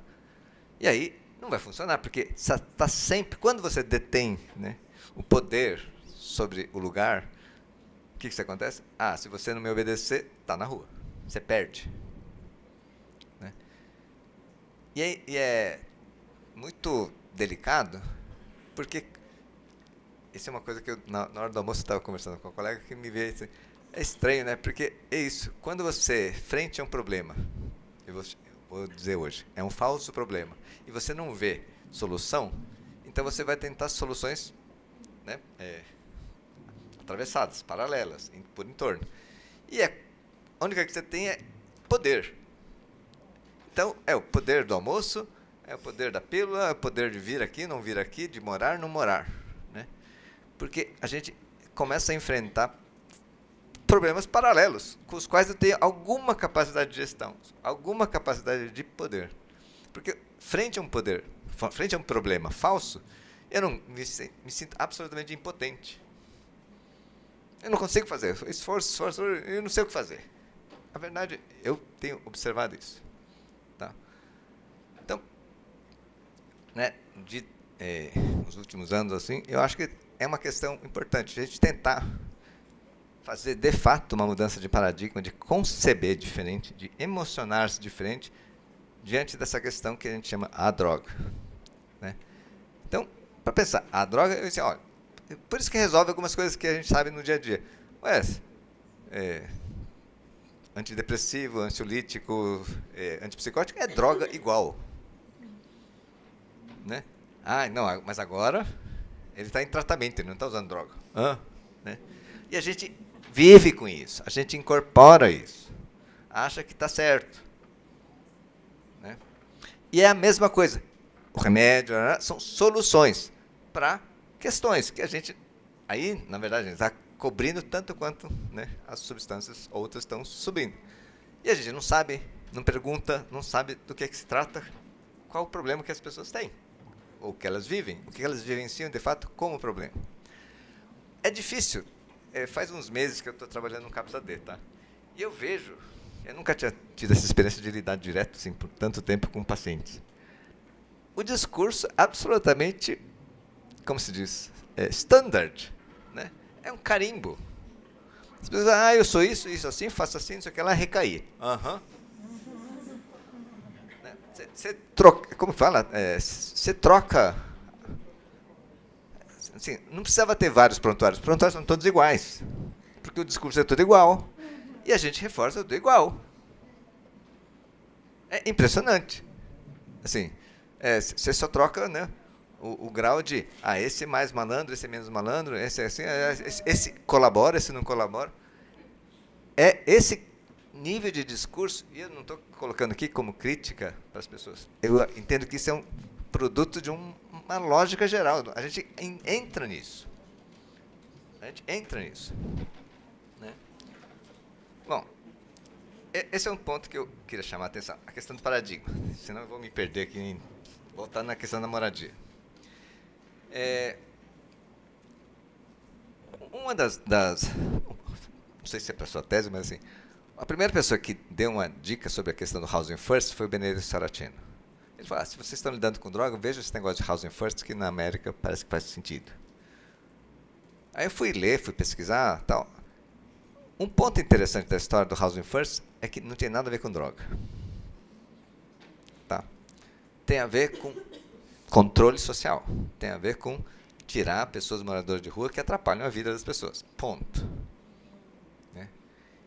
E a americana é muito pragmático. Então eles fazem a leitura bem pragmática. Assim, Tentamos 20 anos fazer isso, uma escadinha. Se você fizer isso, eu te dou A. Se você fizer isso, eu te dou 2A. E no terceiro degrau você entra numa casa. Né, que eles chamam scaling. Né? Então, assim, a história mostra que esse raciocínio está errado, não funciona. As pessoas, as, ninguém, não, não passa do segundo degrau. Né? As pessoas abandonam rapidamente. Que a gente, se a gente analisar, fala, ah, toda uma relação de tokens, né, de estímulos e tal, e tal, e tal, e de submissão. Né? Essa é ideia. Então, eles falam assim, bom, mas se o nosso. O, cara, o raciocínio fala assim, ah, mas se o meu problema é tirar as pessoas da rua, então tira logo. Dá logo a casa, depois a gente vê o que acontece. E, e, é isso, não tem nenhum discursinho, tipo, coitadinho das pessoas, o direito das pessoas. Tará. Não, essas pessoas me atrapalham na rua. Como me atrapalham na rua? Eu estou tentando tirar, fazendo de um certo jeito assim, tará, tará. não funciona. Então sai. Quer entrar na casa? Você tem um, um contrato extremamente simples. Você vai ganhar uma bolsa, 10% da bolsa é para pagar aluguel. Você tem que pagar todos os meses e uma vez por semana um operador vai verificar como é que você está a casa, se a casa está em ordem. Ponto. O resto você faz o que quiser. Não tem nenhum outro compromisso. Simplesmente isso. As pessoas, ah, mas ele vai usar droga, vai fazer isso, fazer aquilo. O resumo é o seguinte: no primeiro ano, 95, 97% das pessoas cumprem o contrato. No segundo ano, 85, 86% cumprem o contrato. Dois anos seguidos. Esses dados ref, ref, é, são replicados aqui no de braços abertos. Em dois anos, 400 pessoas permaneceram dentro do seu contrato de formas razoavelmente estáveis, né? assim, cumprindo essa contratualidade, esse, esse pacto. Né? Bom, aí esses americanos estudaram e falaram, ah, legal, primeiro, eles topam, eles conseguem sustentar uma, uma, uma um contrato, conseguem sustentar um combinado, né? Que ninguém imaginava que fosse possível. A pessoa está anos na rua, né? gente esquisita. Tá? Pragmaticamente, toparam, ótimo. Aí analisaram o entorno. E observaram assim, ó, o fato de tirar da rua sai muito barato.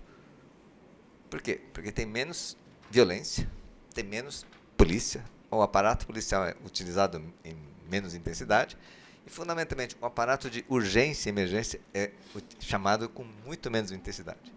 Então, isso traz uma economia enorme para a sociedade. Então, esse valor subsidiado dessas moradias é absolutamente barato frente aos problemas de ter gente na rua. Porque não só as pessoas na rua atrapalham a moralidade, atrapalha o fluxo, atrapalha a economia, atrapalha né, e gasta e consome. Né? Então, do ponto de vista americano, Housing First tinha uma finalidade extremamente ótima, assim, ah, dá para tirar essas pessoas. E isso, é uma coisa que vem se replicando cada vez mais. Tá?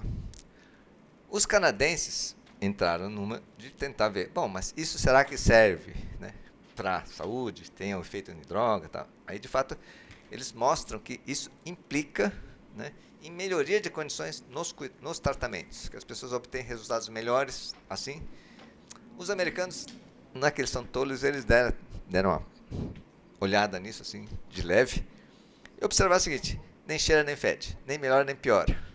Porque muita gente tinha a fantasia de que se você garantir uma casa, né, o cara vai consumir muito mais, vai se, né, vai se matar, né, vai para dentro. É fantasia, né? O cara vai levar um quilo de cocaína, vai para dentro e vai morrer. É muito é, comprovou que não, não faz diferença. Os, os, os, canadenses mostraram que se você associa isso com a política de saúde, melhora. As, as pessoas que estão na casa com tratamento têm resultados melhores do que só com tratamento. Bem, né? Então, que vale a pena. Então, pragmaticamente, acho que isso era uma coisa importante.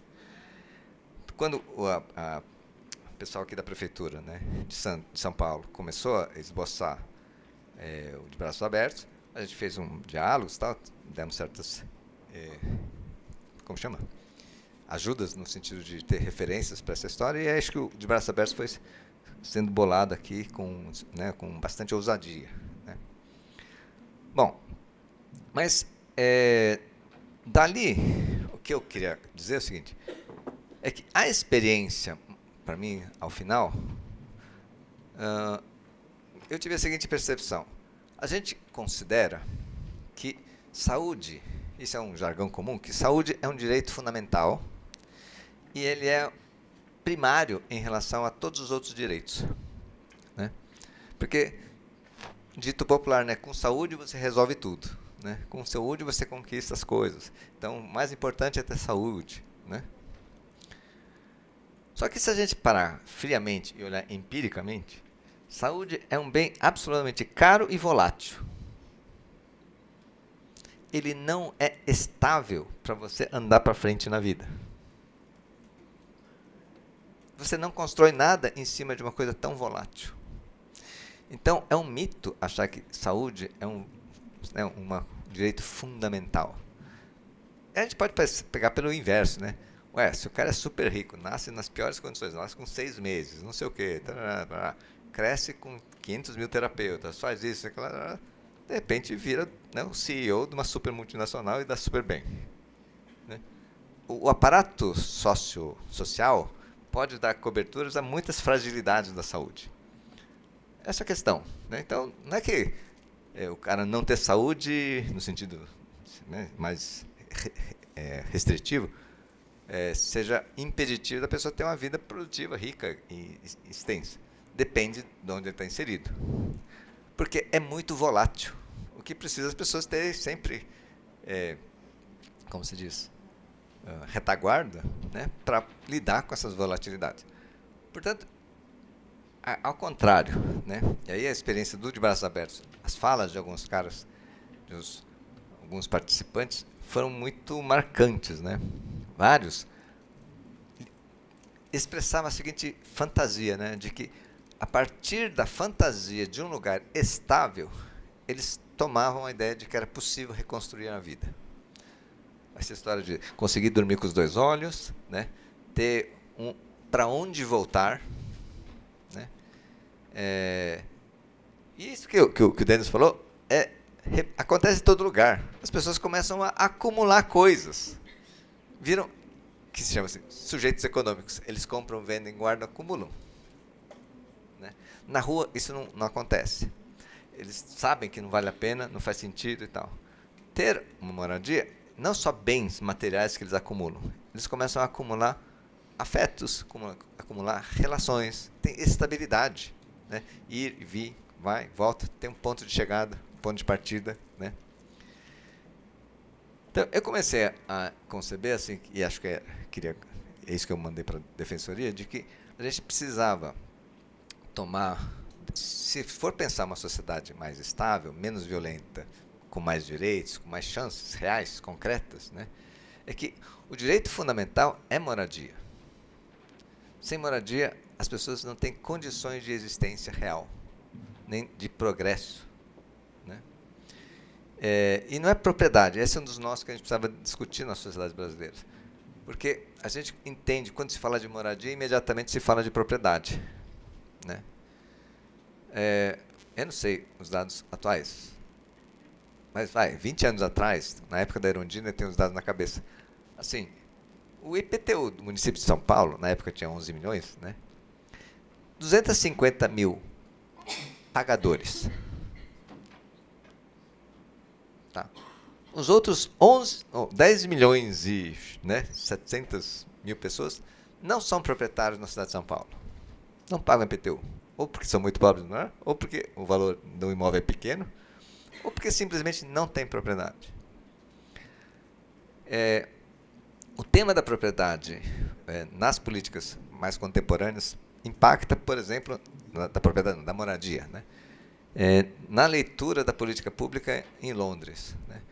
Um artigo interessante mostra o seguinte: é, em Londres tem população abaixo da linha da pobreza, hein? pessoas que vivem com menos de 2 dólares dia. Né?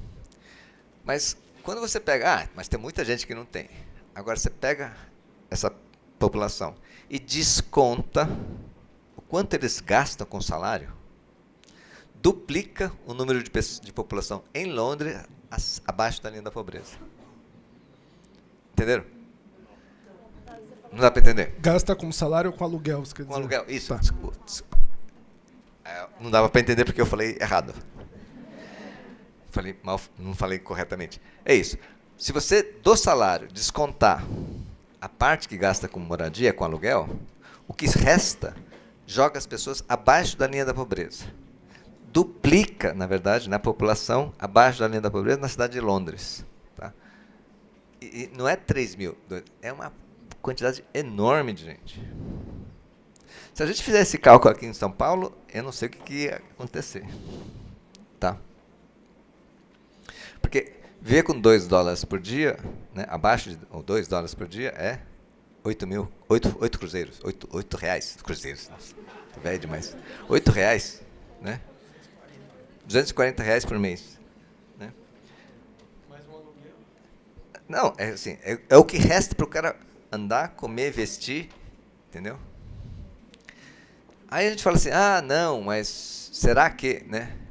Eu desconfio que uma grande parte da população em São Paulo vive nessas condições, embora não se sinta nessas condições. Tá? Na hora do vamos ver se você, o cara, né, fizer essa conta, retirando o valor do aluguel, quanto que sobra, né, por dia? Eu acho que é muito forte. Agora, do ponto de vista psíquico, imagina, eu tenho essa ideia porque hoje tem uma casa, tem um apartamento lá, mas é, eu lembro assim, nossa, eu falava assim, ah, eu não tenho onde cair morto, né? Vou, quando eu morrer, vou ficar pendurado no ar, né? E o estresse de ter que ter grana para pagar no fim do mês, porque sair de casa, sair do lugar, não é só perder o teto. Você insere-se em relações sociais, você se insere em possibilidade de acesso, né? Tudo isso está envolvido na questão da moradia. Né? Então, é um estresse muito grande para as pessoas não perderem essa localização, essa inserção. Ah, não, não deu, vou mais para a periferia. Não deu, vou para outra cidade. E são perdas é, né, de acesso, de, de, dificuldades enormes. Então, acho que a questão da moradia realmente é um estressor né, psicossocial violento. Né? É, acho que tem custos enormes por causa disso. A gente indiretos, né, que a gente vai ter. Portanto, estava pensando assim que era necessário a gente é, por isso que eu estou compartilhando com vocês, difundir essa ideia de que moradia é mais importante do que saúde. É, com moradia, você consegue sustentar a sua saúde. Com a saúde, você não consegue sustentar a sua, sua moradia. Porque saúde é muito volátil. Como eu disse. Um dia você está bem, outro dia você não está bem. Um dia acontece, outro não acontece.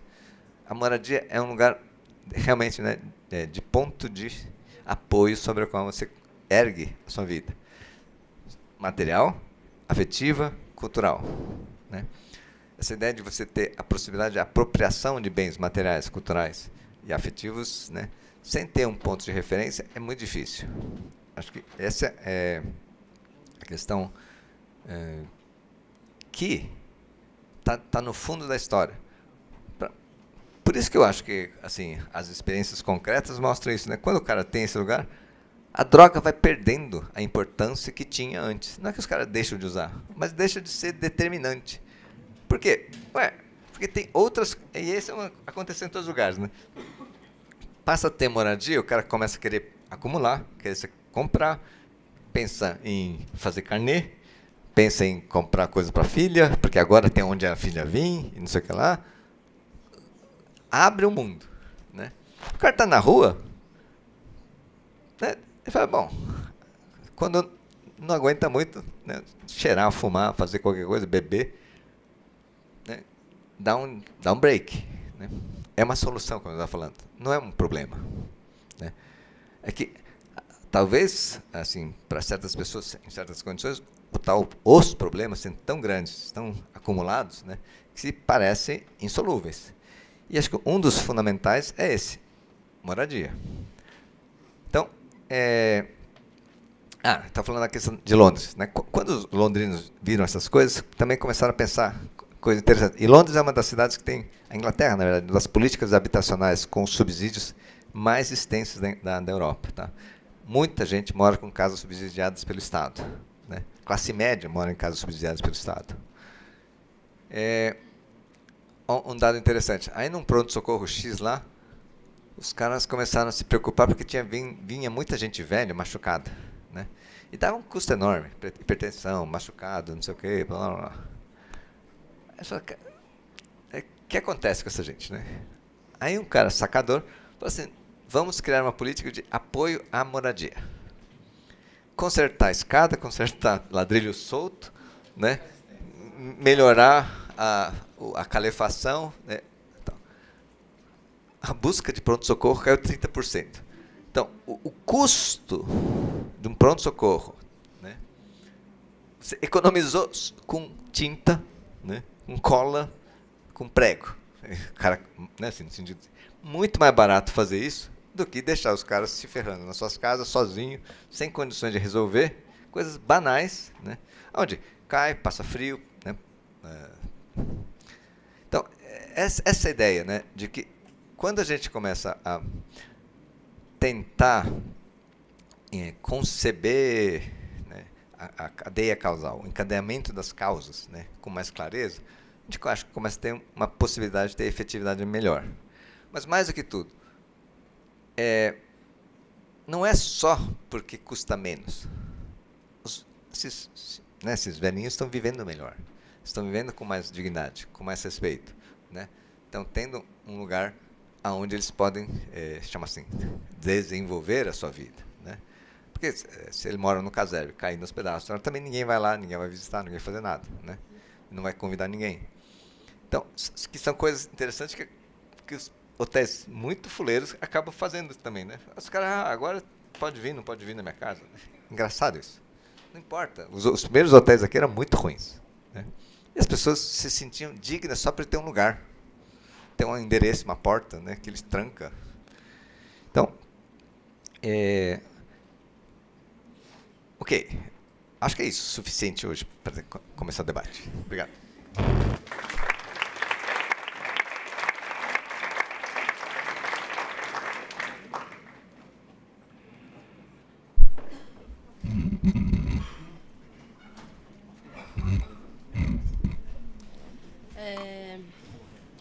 vai abrir para o debate, mas antes eu queria, enfim, fazer uma pergunta mais pontual, que eu acho que era uma questão uma questão que atravessava a gente no, no de braços abertos é, de uma equipe que era composta muitas vezes de, né, de, de técnicos profissionais que não vinham da, da, da, saúde nem da saúde mental e que a gente sempre pensava é, de como dosar que era a questão é, qual que é o limite, né? A gente está ali trabalhando dentro da, da, da, residência da pessoa, a gente está é, no espaço mais íntimo que ela que ela tem, que é a casa, a questão da moradia, de a gente está ali, enfim, circulando na casa dela. É, e, e, de como fazer o cuidado, né? Com isso, é, como a gente pensar o cuidado para que ele não se torne opressor, né? Para qual que é a medida disso, assim? Qual que é um qual que é a régua que, que o trabalhador tem que usar para pensar qual que onde ele até onde ele pode chegar para não o cuidado dele é, não virar não virar um a retirada da, da autonomia dele. Vou só fazer a sugestão aqui da gente acumular três perguntas e aí volta para a mesa, tudo bem? Aí o Gabriel ele tá com o microfone, eu não sei se a gente vai conseguir se ele vai se o microfone vai funcionar, porque porque a questão é que se a pergunta não for feita no microfone, não sai na gravação. É... Bom, enquanto ele vê, tem alguém que gostaria de vir até aqui fazer a pergunta? Tá já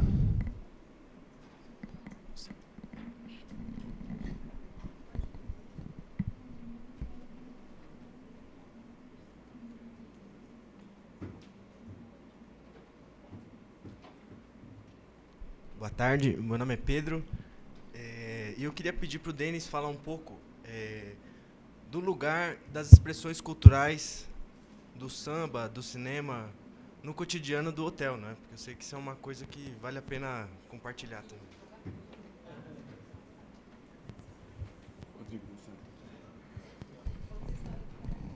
Bom, uh, o microfone está funcionando. Tem mais alguém, não? Acho que então a gente volta para a mesa, né? E aí o pessoal animar na próxima rodada recolhe mais perguntas.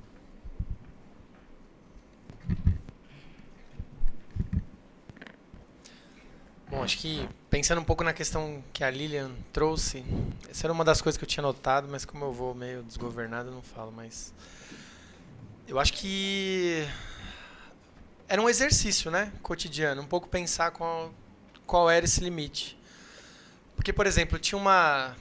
Tinha um combinado. Tinha, tinha um, um, um combinado que a gente tinha que era uma vez por semana a equipe de limpeza limparia o quarto. Porque tinha uma questão que as pessoas começavam a acumular e o quarto ficava super sujo e tal. Só que rapidamente as pessoas foram dizendo, ó, oh, esse quarto é meu, você não se mete aqui não.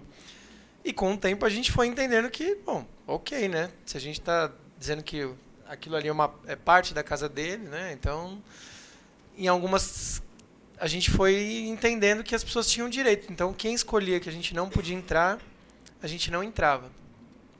Outra questão que foi bastante tensa desde o início era que a gente tinha um, um, um trio é, de agentes comunitários que eram o pessoal que era do consultório na rua.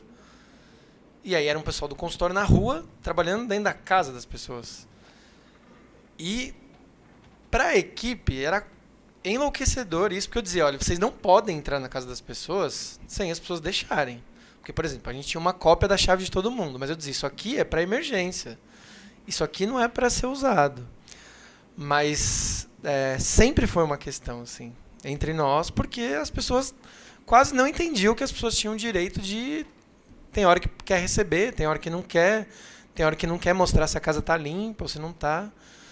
Então acho que isso foi um exercício o tempo todo, assim. Não, acho que não é uma, uma resposta simples de se dar, mas é isso, a gente foi experimentando, né? Em alguns momentos dava para entrar, em outros momentos eles foram dizendo não, que não, que é minha casa, entra quem eu quiser na hora que eu quiser. Tanto é que algumas pessoas começaram a colocar outra tranca. Então, por exemplo, tinha uma tranca normal, a pessoa colocava uma chave tetra. Agora ninguém entra. Não dá para a gente falar, então dá uma cópia da chave tetra. Não. Então, isso foi negociação o tempo todo, né? Não, enquanto a música, acho que a música era o que movia aquele hotel, né? Acho que era uma coisa muito bacana, tinha, um, tinha, tinha muita gente com uma história relacionada ao samba, tinha gente que teve grupo de pagode nos anos 90. Então, inclusive era uma estratégia inclusive quando a casa estava pegando fogo assim, sei lá, tinha dias que a casa ficava com poucos trabalhadores, então a gente sabia que quando a gente levava a galera para fazer um samba, era garantia de que a casa ia ficar tranquila, que as pessoas iam ficar ali numa boa, curtindo, fazendo um churrasco, ouvindo um samba. Então a música teve um se tivesse uma trilha sonora para escolher o do hotel seria o samba. Assim. E o cinema, é, não sei se todo mundo sabe, mas teve uma equipe que gravou um documentário dentro do Hotel Parque Dom Pedro no período que a gente estava lá. E isso foi muito doido, assim, porque no começo era tudo muito esquisito, inclusive muitos dos moradores não queriam, assim, porque é isso, ficava uma equipe ali o tempo todo filmando e tal. E com o tempo isso foi foi ficando tão natural, assim, eu acho que felizmente eles estiveram ali dentro para para poder contar essa história, né? Acho que de, de uma outra maneira. Foram uns seis meses mais ou menos de gravação. Qual o nome do documentário?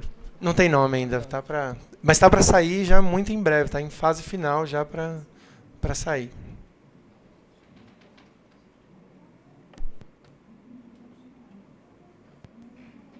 Quero quero aproveitar para fazer uma pergunta é, para o Ticanori ele estava falando dessa importância da moradia, e aí a gente pode pensar essa questão do direito social que acaba sendo acelerado para aquele que é visto como problema social maior ou como ameaça, né, no caso do usuário. E de como é a gente pensar a política pública uh, de, de garantismo né, de direitos básicos num contexto como o nosso, que a questão da inveja eu falo a questão da inveja no sentido de que é, a lógica da sobrevivência e do sacrifício faz com que as pessoas odeiem os beneficiados. Né? É um discurso muito comum. E aí, enfim, já poder ouvir como é que é pensar isso da, da perspectiva de quem está formulando, se a algum momento há uma forma de, de tentar manejar com isso, visto que é algo que a gente percebeu ressoar em torno dos avanços que a gente teve é, nos anos anteriores. Né?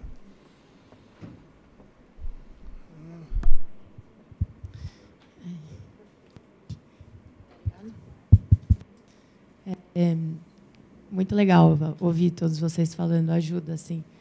É, o Augusto e eu, a gente trabalha, está trabalhando lá no, no território, num, num pedacinho mais privilegiado, no que eu acho que tem de interessante no programa Redenção. Eu, particularmente, Voltou? Trabalhei no Braço Aberto, foi muito duro assim ver tudo isso é, ir ruindo, né? Essa essa ideia de trazer de novo o, a droga como problema, tudo que a gente tá aberto, né? Conseguir voltou a ser o problema a droga. É, e queria um pouco contar disso e pedir para vocês comentarem isso também, que a gente vai observando que muita gente, muita gente que vem pedir a internação, é, na verdade, está pedindo moradia. E, por muitas vezes, o nosso trabalho é, é tentar achar algum lugar para essas pessoas ficarem, para evitar que elas sejam internadas. E a gente está exausto, porque é difícil de encontrar para todo mundo. Né? Estava até conversando hoje com o Augusto de que é, que talvez a gente já possa ficar satisfeito com o nosso trabalho se a gente reúne essas pessoas e diz e ajuda elas a perceber que o que elas estão pedindo não é internação, mesmo que elas sejam internadas, né? Poder dizer que lembra que o problema é outro e todo mundo é, é, é isso, né? É os drogados, todo mundo esperando vaga. E aí, gente, como vocês estão? Estamos esperando vaga. Ah, é? E o que, que vai o que, que vai ter é, lá na internação? O que, que você imagina? Aí você vai desmembrando, vem tanta coisa, né? Vem descansar, morar mesmo. Vem internação. De vez em quando tem um pedido real assim, de internação. Enfim, é, dá um tempo para a cabeça, uma que a gente vai entendendo meio como férias, que a gente que tem mais condição pode ir viajar quando quer dar um tempo da vida e e o pessoal lá se interna. se externa, eles falam muitas vezes, queria se externar. Que é super interessante, né? Que tipo sair um pouco daqui. Enfim, então trazer um pouco dessa desse dado e para a gente voltar a colocar que o debate da internação cai perfeito, né? No, quando você volta a colocar que a droga é o problema, e não quer fornecer moradia, nem topar esse desafio de garantir direitos, a internação cai como uma luva. E aproveitar também para convidar quem quiser dizer que o CRP está tentando montar uma discussão sobre moradia, é, fazer uma espécie de um GT que ainda está tá em formação e, tá, e é hoje a reunião, a primeira ou segunda reunião, no CRP às sete horas. E é aberto, acho não sei se só para psicólogo, acho que é bem interessante da gente compor e trazer essas discussões para lá. Eu falei para eles que tinha esse evento. Vamos lá também.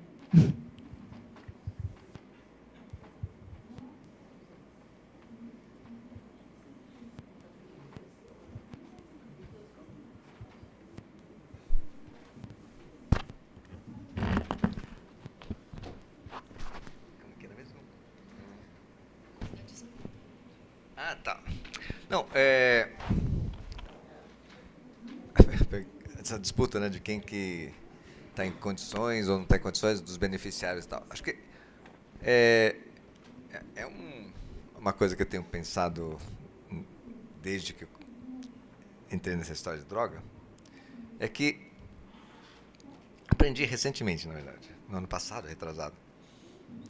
É, o, o cara fala assim, ó, se não fosse o medo, a culpa e a vergonha, talvez eu nunca vestisse a carapuça de drogado. E falei, cara, isso é a coisa mais inteligente que eu já vi. Né? Porque nem maconha, nem álcool, nem cocaína dão culpa, nem medo, nem vergonha.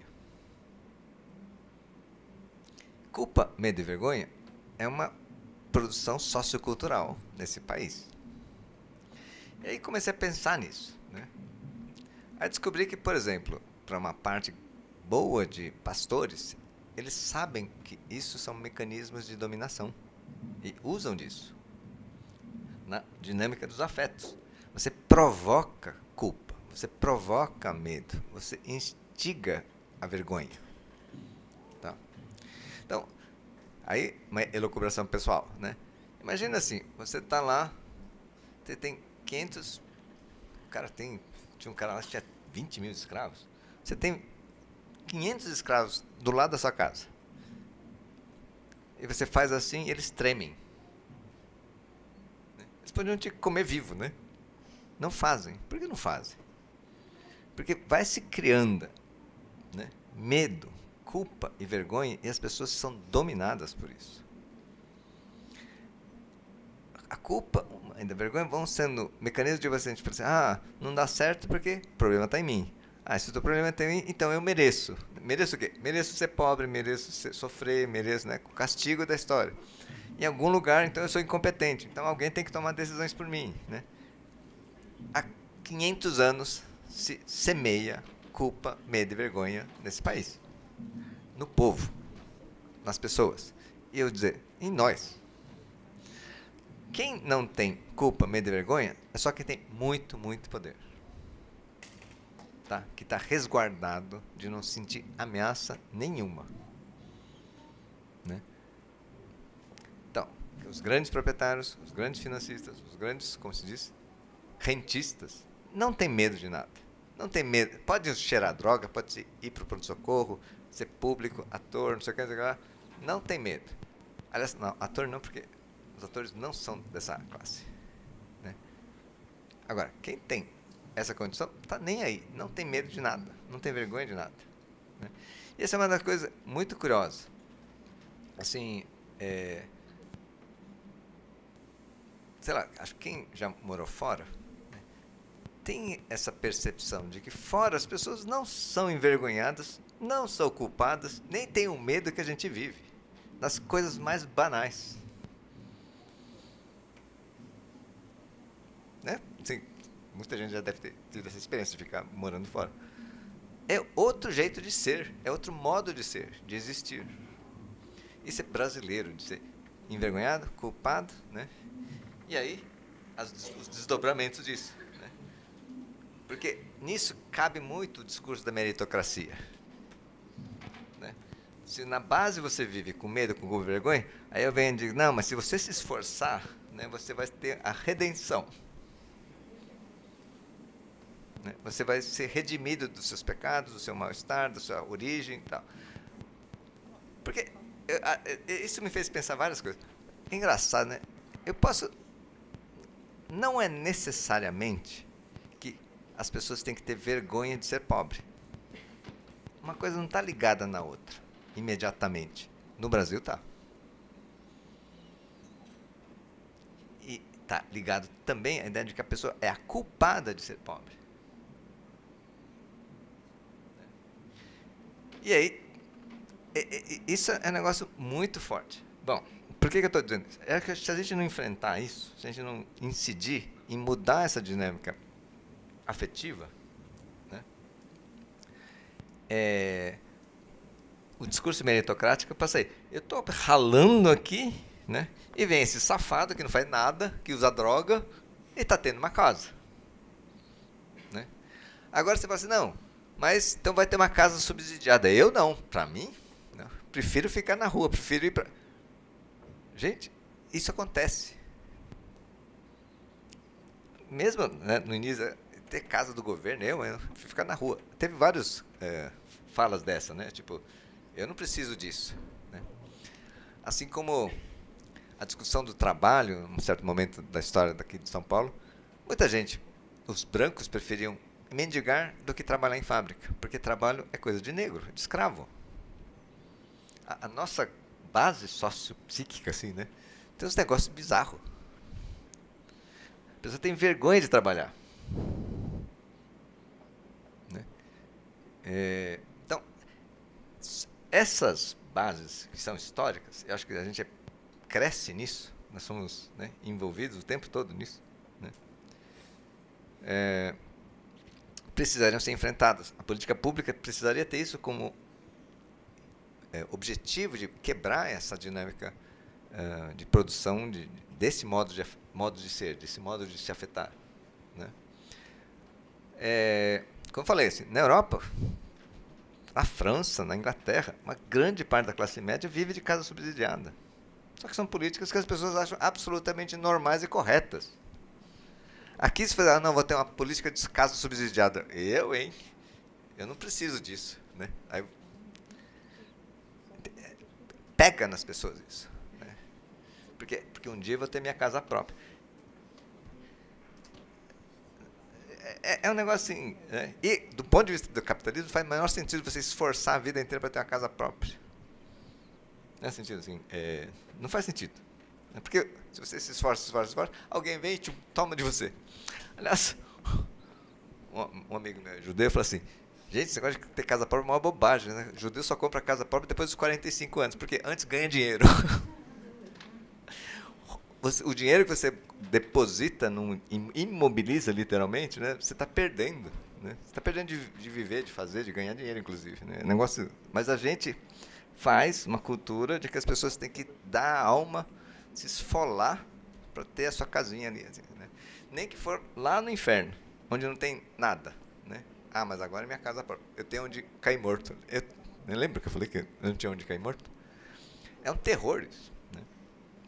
Bom, então, acho que é, aluguel social, aluguel socialmente validado era importante. Agora, é necessária uma mudança afetiva nisso. Né?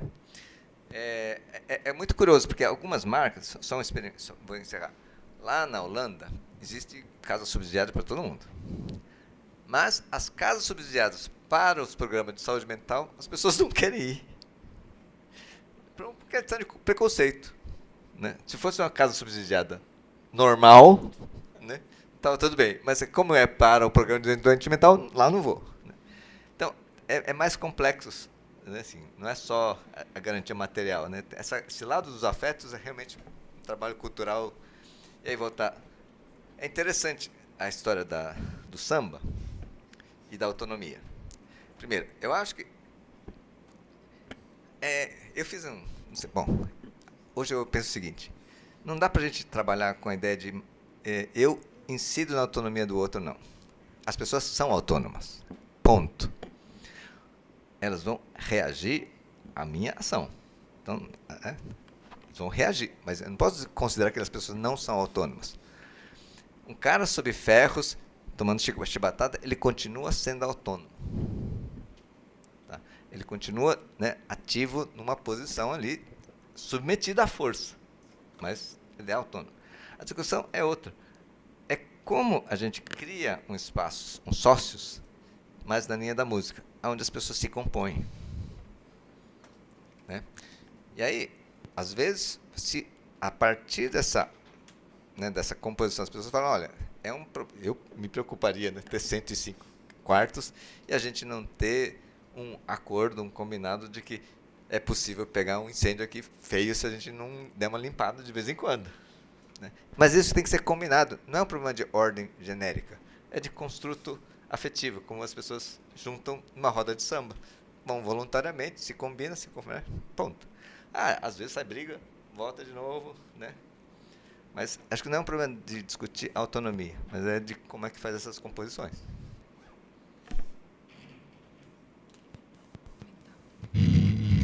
Ainda com relação a isso da disputa entre né, Acho que tem o preconceito pró dos, da própria gestão, às vezes, né, de falar não vou priorizar esse público, mas essa discussão também se dá entre a própria população em situação de rua, por exemplo. Né? Em maio teve um seminário organizado pela prefeitura é, sobre habitação e população em situação de rua. E a prefeitura ela tentou, é, o, veio várias pessoas, veio o pessoal do, do Canadá falando sobre o Housing First, e a prefeitura ela tentou, com todos os participantes da população em situação de rua que estava lá, discutir com a população em situação de rua quais eram os critérios que eles achavam mais adequados para priorizar as pessoas que iriam entrar em um dos hotéis, um do, do, dos prédios. A prefeitura tem oito prédios e um desses prédios eles vão colocar só pessoas em situação de rua, né? Esses prédios novos, nem novos, reformados. E isso foi uma discussão enorme, né? Inclusive as pessoas em situação de rua, porque o Housing First prioriza as pessoas com transtorno mental e que fazem uso de drogas, isso deu uma briga enorme entre as pessoas, inclusive, né, de falando, olha, vocês estão priorizando os drogados, eu tenho filho, eu tenho família, né? Então não é uma discussão simples, porque, né, uma das coisas que diferencia, é o que eu penso, né, diferencia é, a implantação dessas moradias assistidas com priorizando os públicos específicos em outros lugares. Também tem esse debate, mas talvez ele seja menos intenso, justamente pelo que o Tica está falando, que são países que têm um sistema de outras alternativas de abrigo hum, com maior variedade, mais modalidades, mais bem estabelecidos. Né? O que a gente tem aqui são o problema habitacional é muito grande para pessoas no geral, então né, você priorizar um determinado público gera essas disputas entre os, né, os próprios públicos. Né? E, e aí, por, em outros países, alguns, né, você já tem um sistema de abrigamento e de moradia que acolhe grande, né, algumas demandas e que esse público, de fato, pode ser priorizado, digamos assim, com, com menos... É, com menos disputa. É, eu queria comentar a questão da, da internação, especialmente das comunidades terapêuticas, porque ela apareceu muito na, no, no, nosso, no nosso projeto lá em Brasília. É, não posso dizer de três de três pessoas, três moradores que eu vi pedindo, quase que desesperadamente, estavam nas suas casas e pedindo para ir para uma comunidade terapêutica. É, dois deles, inicialmente, eles pediram para ir para o acolhimento integral do CAPS, porque já tinham vínculo com o CAPS e pediram. E o CAPS pediu, então, para fazer uma reunião antes com ele, para saber por que, que ele queria ir, para fazer um projeto para os dias que ele fosse, que ele fosse ficar, para combinar o que, que exatamente né, iria ser feito, para ver se tinha vaga. Então, e eles, pelo menos em Brasília, a gente não tem tanto problema com vaga de comunidade terapêutica, eu não sei como é aqui. Então, de fato, quando querem descansar, exatamente isso, quando querem descansar, ou querem comer, ou querem fugir de algum perigo, né, sair de algum perigo, de algum risco que estão na rua, a comunidade terapêutica é quem acolhe. É duro isso. Né? Não dá para. Comunidade terapêutica, né, violadora de direitos, né, todos os últimos relatórios, ela ocupa esse lugar, ela tem ocupado esse lugar de moradia, de alimentação e de proteção que nós não temos conseguido né, efetivar.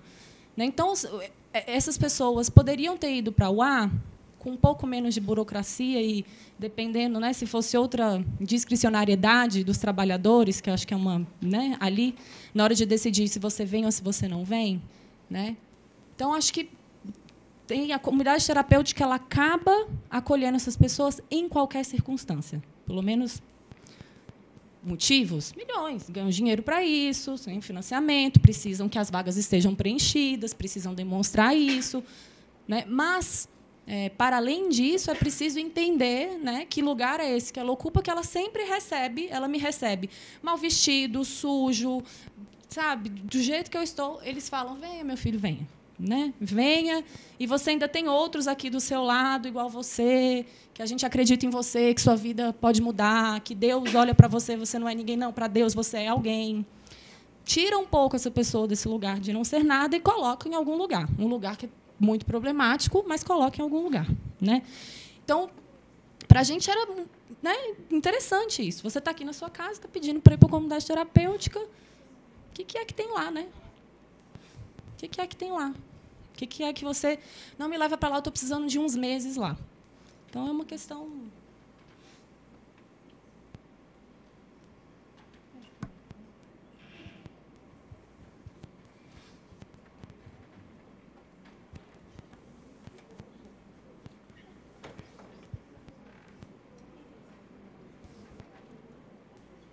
tarde.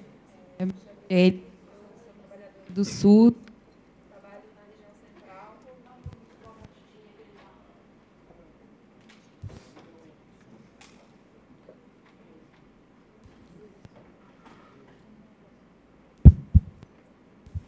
Trabalho. É comigo. É, trabalho na região central e na região leste da cidade. Trabalho em CAPS e numa unidade de acolhimento. E uma das coisas que eu também identifiquei nesses anos aí que eu tô que eu venho trabalhando é isso, que é, é a questão realmente principal é a moradia, né? É a estrutura de, de qualquer organização parte de, de, de, esse eixo de moradia, né? Seria como a, a nossa coluna cervical, né? O que nos sustenta, né? O que nos, nos, nos ajuda a nos organizarmos ali. E aí eu fico pensando que alguns projetos, como o de Braços Abertos, as unidades de acolhimentos, são excelentes mas que é, tem uma descontinuidade nesse processo, porque é de caráter transitório. Né?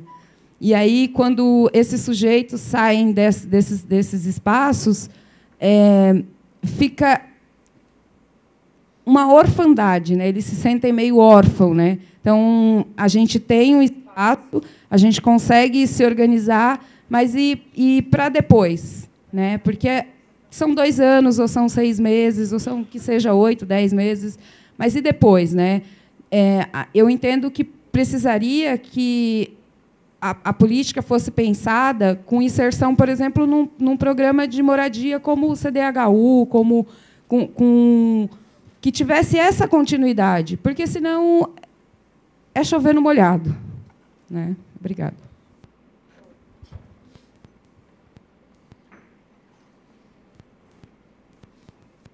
Pessoal, acho que é a última rodada, né? Gente. Quem tiver.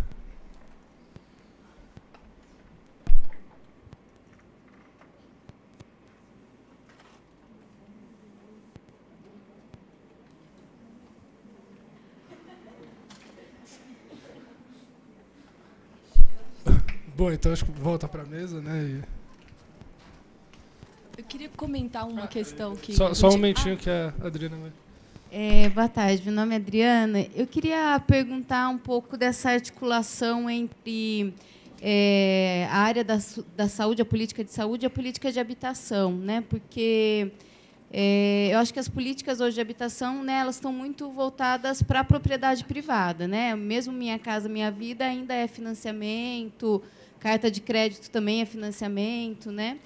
Então, né, queria pensar né, como é que se tensiona isso, associar, né, dentro dessas outras experiências internacionais, algum tipo de proposta de moradia que seja né, via locação social, né, ou a própria ideia de moradia terapêutica, né, mas também é, apoiada pela Secretaria de Habitação. Né, pensar essa rede, né, saúde e habitação também.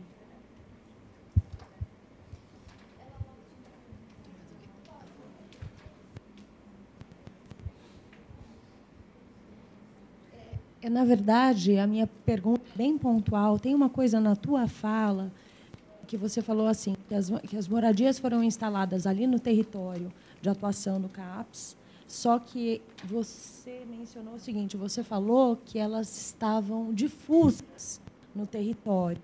E aí eu queria que você explicasse isso, é, para entender como é, como é que se essa proposta. Porque, veja, eu trabalhei na Secretaria de Assistência Social de Campinas e quando a gente vê, é, sejam hotéis, sejam aqueles prédios inteiros ocupados é, de uma vez, né, é dominado por é, pessoas que estão ali para serem assistidas por esses programas. Isso estigmatiza muito é, os outros moradores desse território. Eles se sentem muito infringidos por serem vizinhos de assim do, do, do prédião do, do favelão. E isso tem um impacto, assim, não é minha opinião pessoal, tá? É como eu vejo que isso acontecia lá. Então, as queixas eram muito frequentes da vizinhança, de que ah, aquele prédio é o do, do, do faveladão, aquele prédio é de um manto de, de, de drogado, aquele prédio é dominado é, pelo PCC ou por outras entidades criminosas.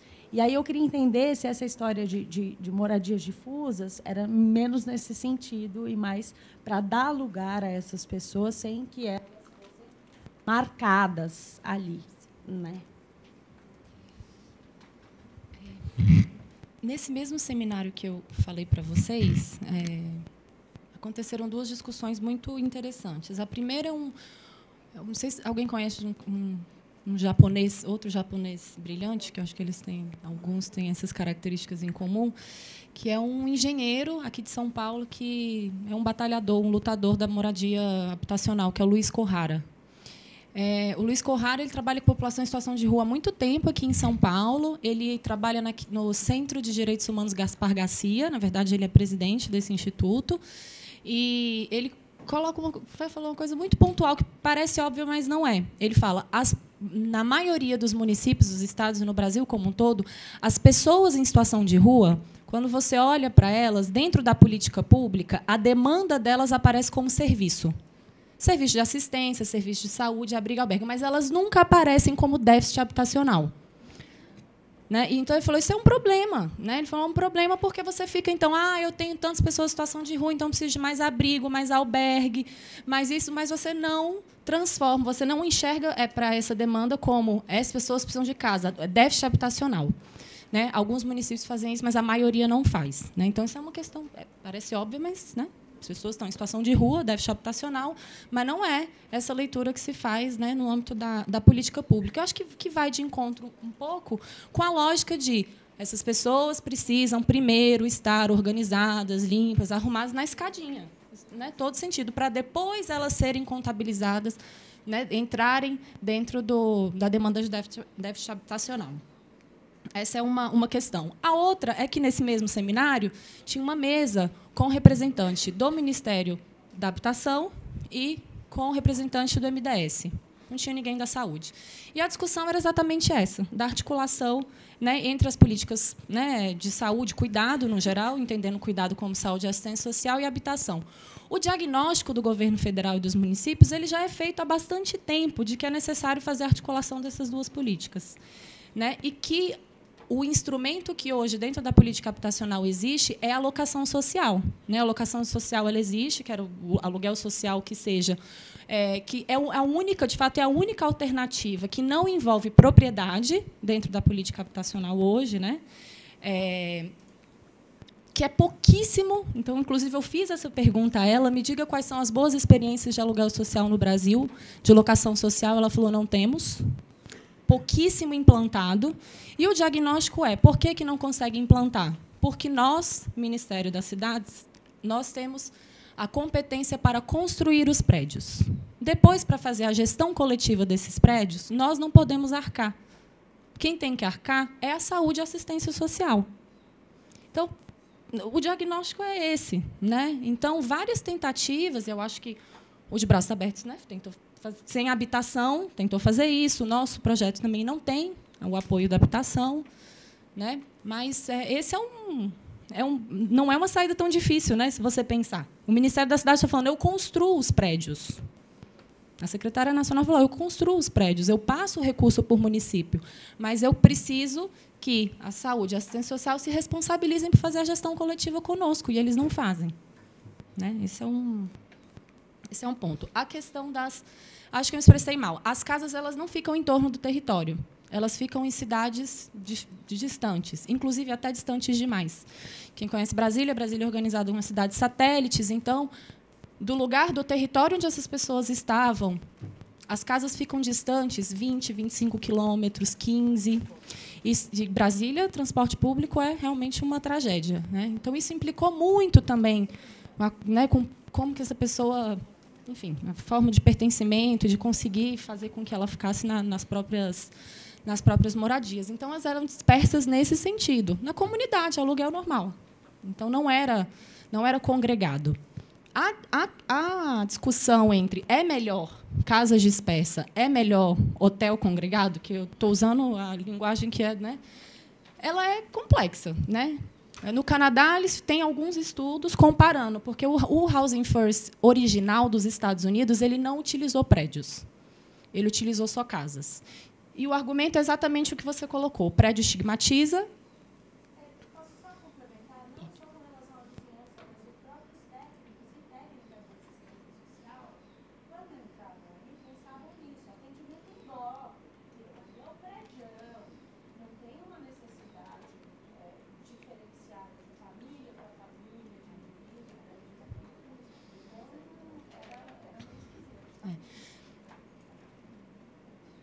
então, né, nos Estados Unidos eles têm eles, essa concepção, nem, nem sei se é, depois eles começaram a ter mais prédios. Inclusive, eu visitei um prédio em São Francisco que é espetacular. Você pode passar na frente dele, vai, vai saber que é. Você entra dentro, tem uma portaria, como se fosse uma portaria de qualquer outro prédio, só que o porteiro são pessoas, são profissionais que ficam 24 horas. Tem uma salinha ali para se for fazer alguma coisa, mas não tem cara de serviço, é uma casa, é um, um prédio com várias. Então, né, depende. E as, as, pesquisas, de uma certa forma, é, no Canadá, eles se dedicaram mais a isso, a discutir os modelos congregados, né, digamos assim, vários apartamentos num prédio só, e as casas, a partir do ponto de vista dos usuários, inclusive. E isso também né, é, diverge um pouco. Alguns falam que eles não querem morar nos prédios porque é, tem outras pessoas que usam drogas, tem mais tentação e que não gostam de ser intitulados como moradores do prédio onde tem os vários usuários de drogas. E alguns referem que preferem por conta da própria solidão, né, dos vínculos que já têm.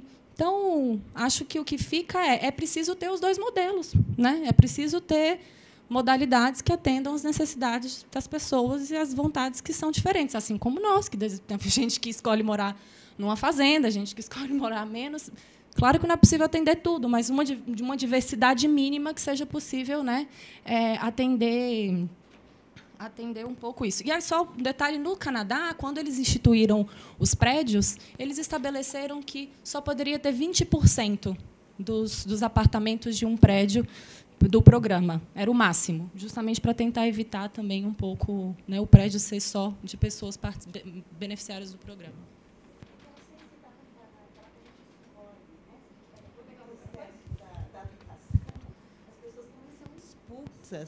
Né, de seus territórios, né, pegar o processo claro. de gentrificação. Então, acho que essa coisa escolho né, acho que é mais complexa.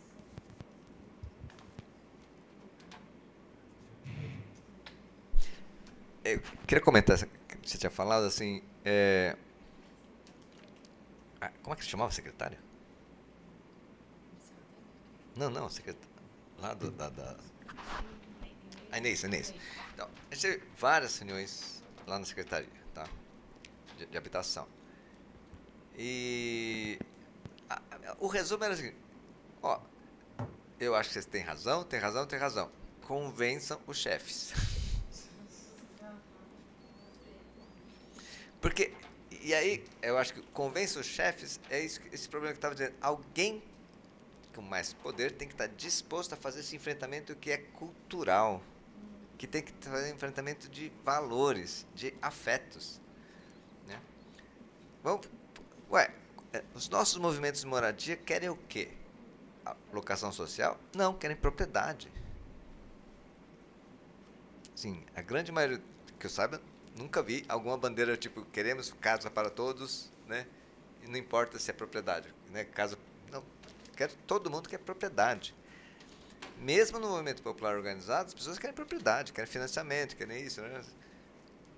Já falei com alguns caras, né, tipo, é difícil. Ou tem gente que acha que não, mas as, o povo quer casa. Né? Então acha que é, pensa, ah, casa, então dá para ter. É né? um direito, a gente vai ter que garantir propriedade. E esse é um desvio que é muito entranhado na sociedade. Tá? E, e não se dá um negócio, porque é o seguinte, é, a Inês até comentou o seguinte, né? Não, minha casa, minha vida tem um problema, né? As faixas altas, até que consegue desenvolver. Vai baixando, né? Você já começa a surgir vários contratos de gaveta. As pessoas vão vendendo. Né? Porque o pessoal não é bobo. Né? Você tem uma casa de 70 mil na mão, você paga, vai pagar 7 mil. Você vende por 35, vai, volta para a favela e abre um bar. Né? É isso, né? Assim, uma, uma, piada de mau gosto, mas ela falou assim, e aí vai baixando, na, na faixa 1 lá, ou as pessoas vendem de, né, muito barato, ou vendem por pedaço. Quem vende por pedaço são as pessoas que usam crack. Né? Pega a casa e vende por pedaço. Era mal. Mas ela falou, não funciona numa certa faixa essa história de querer passar propriedade. Na verdade, eu acho que não funciona no geral. Porque a capacidade de gerar propriedade e financiar essas propriedades segundo o sistema financeiro que a gente tem, é fazer as pessoas venderem rapidinho logo. Né? Essa, então, algumas pessoas, até promotor, né? compra casa, minha casa, minha vida, para quê? Ele precisa morar? Não, o Dallagnol não comprou casa, minha casa, minha vida? Para quê? Investimento financeiro, vai lá e toma de alguém. Né? Então, é, só que a gente tem que convencer né, e des, tirar o peso moral da ideia de que eu moro numa casa de política pública subsidiada. Né? Óbvio, aí também tem que a gente falar, ah, também não dá para fazer. Ah, já que, já que, porque tem todo esse negócio do Jaque, né? Ah, já que é política subsidiada, então você tem que ter 35 metros quadrados, com três quartos. É, essa ideia de que é carregado de tudo que é sacrifício, tudo é humilhação, tudo não tem, é, você não pode ter uma casa decente subsidiada. Por que não? Ah, e, a, e a meritocracia, né? Então, é muito arraigado esses afetos e as pessoas recusam. Recusa por vergonha, recusa porque tem medo, recusa que não. E os recusa dos dois lados, tanto do lado do povo quanto do lado de quem tem poder para dirigir, que queira mudar, mas não peita. Eu acho que a gente precisava ter mais debates para que a gente mudasse socioculturalmente isso, esse valor, esse conceito. Eu fiquei pensando assim uma vez, puxa vida, se eu tivesse uma casa subsidiada, eu vivia muito melhor. Né? Podia fazer mais coisas, podia viajar, sei lá, ter férias, né? não ficar só pagando para aluguel. Pagar... É bem simples assim, mas a gente acha que não. Né? Só que não, né?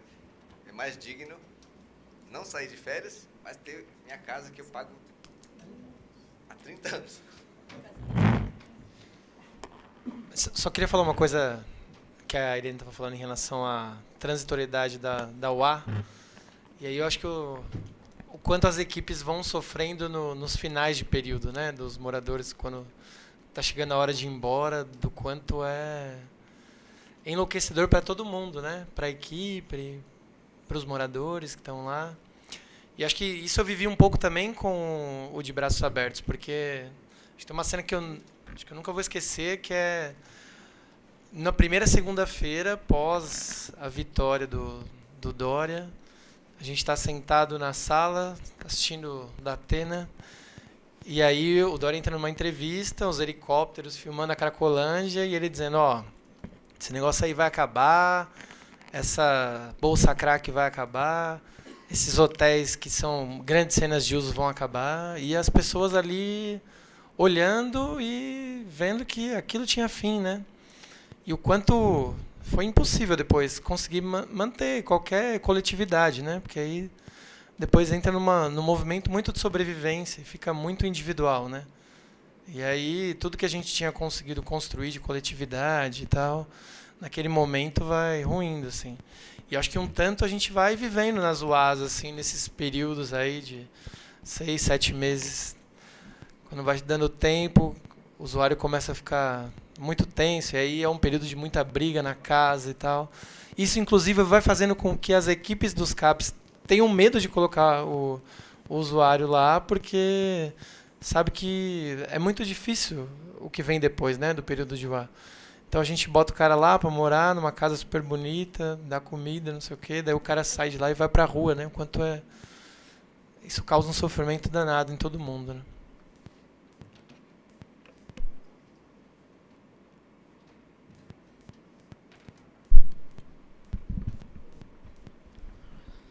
Bom, gente, a gente vai encerrando. Queria agradecer mais uma vez, enfim, Adriana, Denis, Ticanori, enfim, acho que a gente conseguiu fazer uma, um debate bacana e importante é, e fechar com chave de ouro o, o ciclo.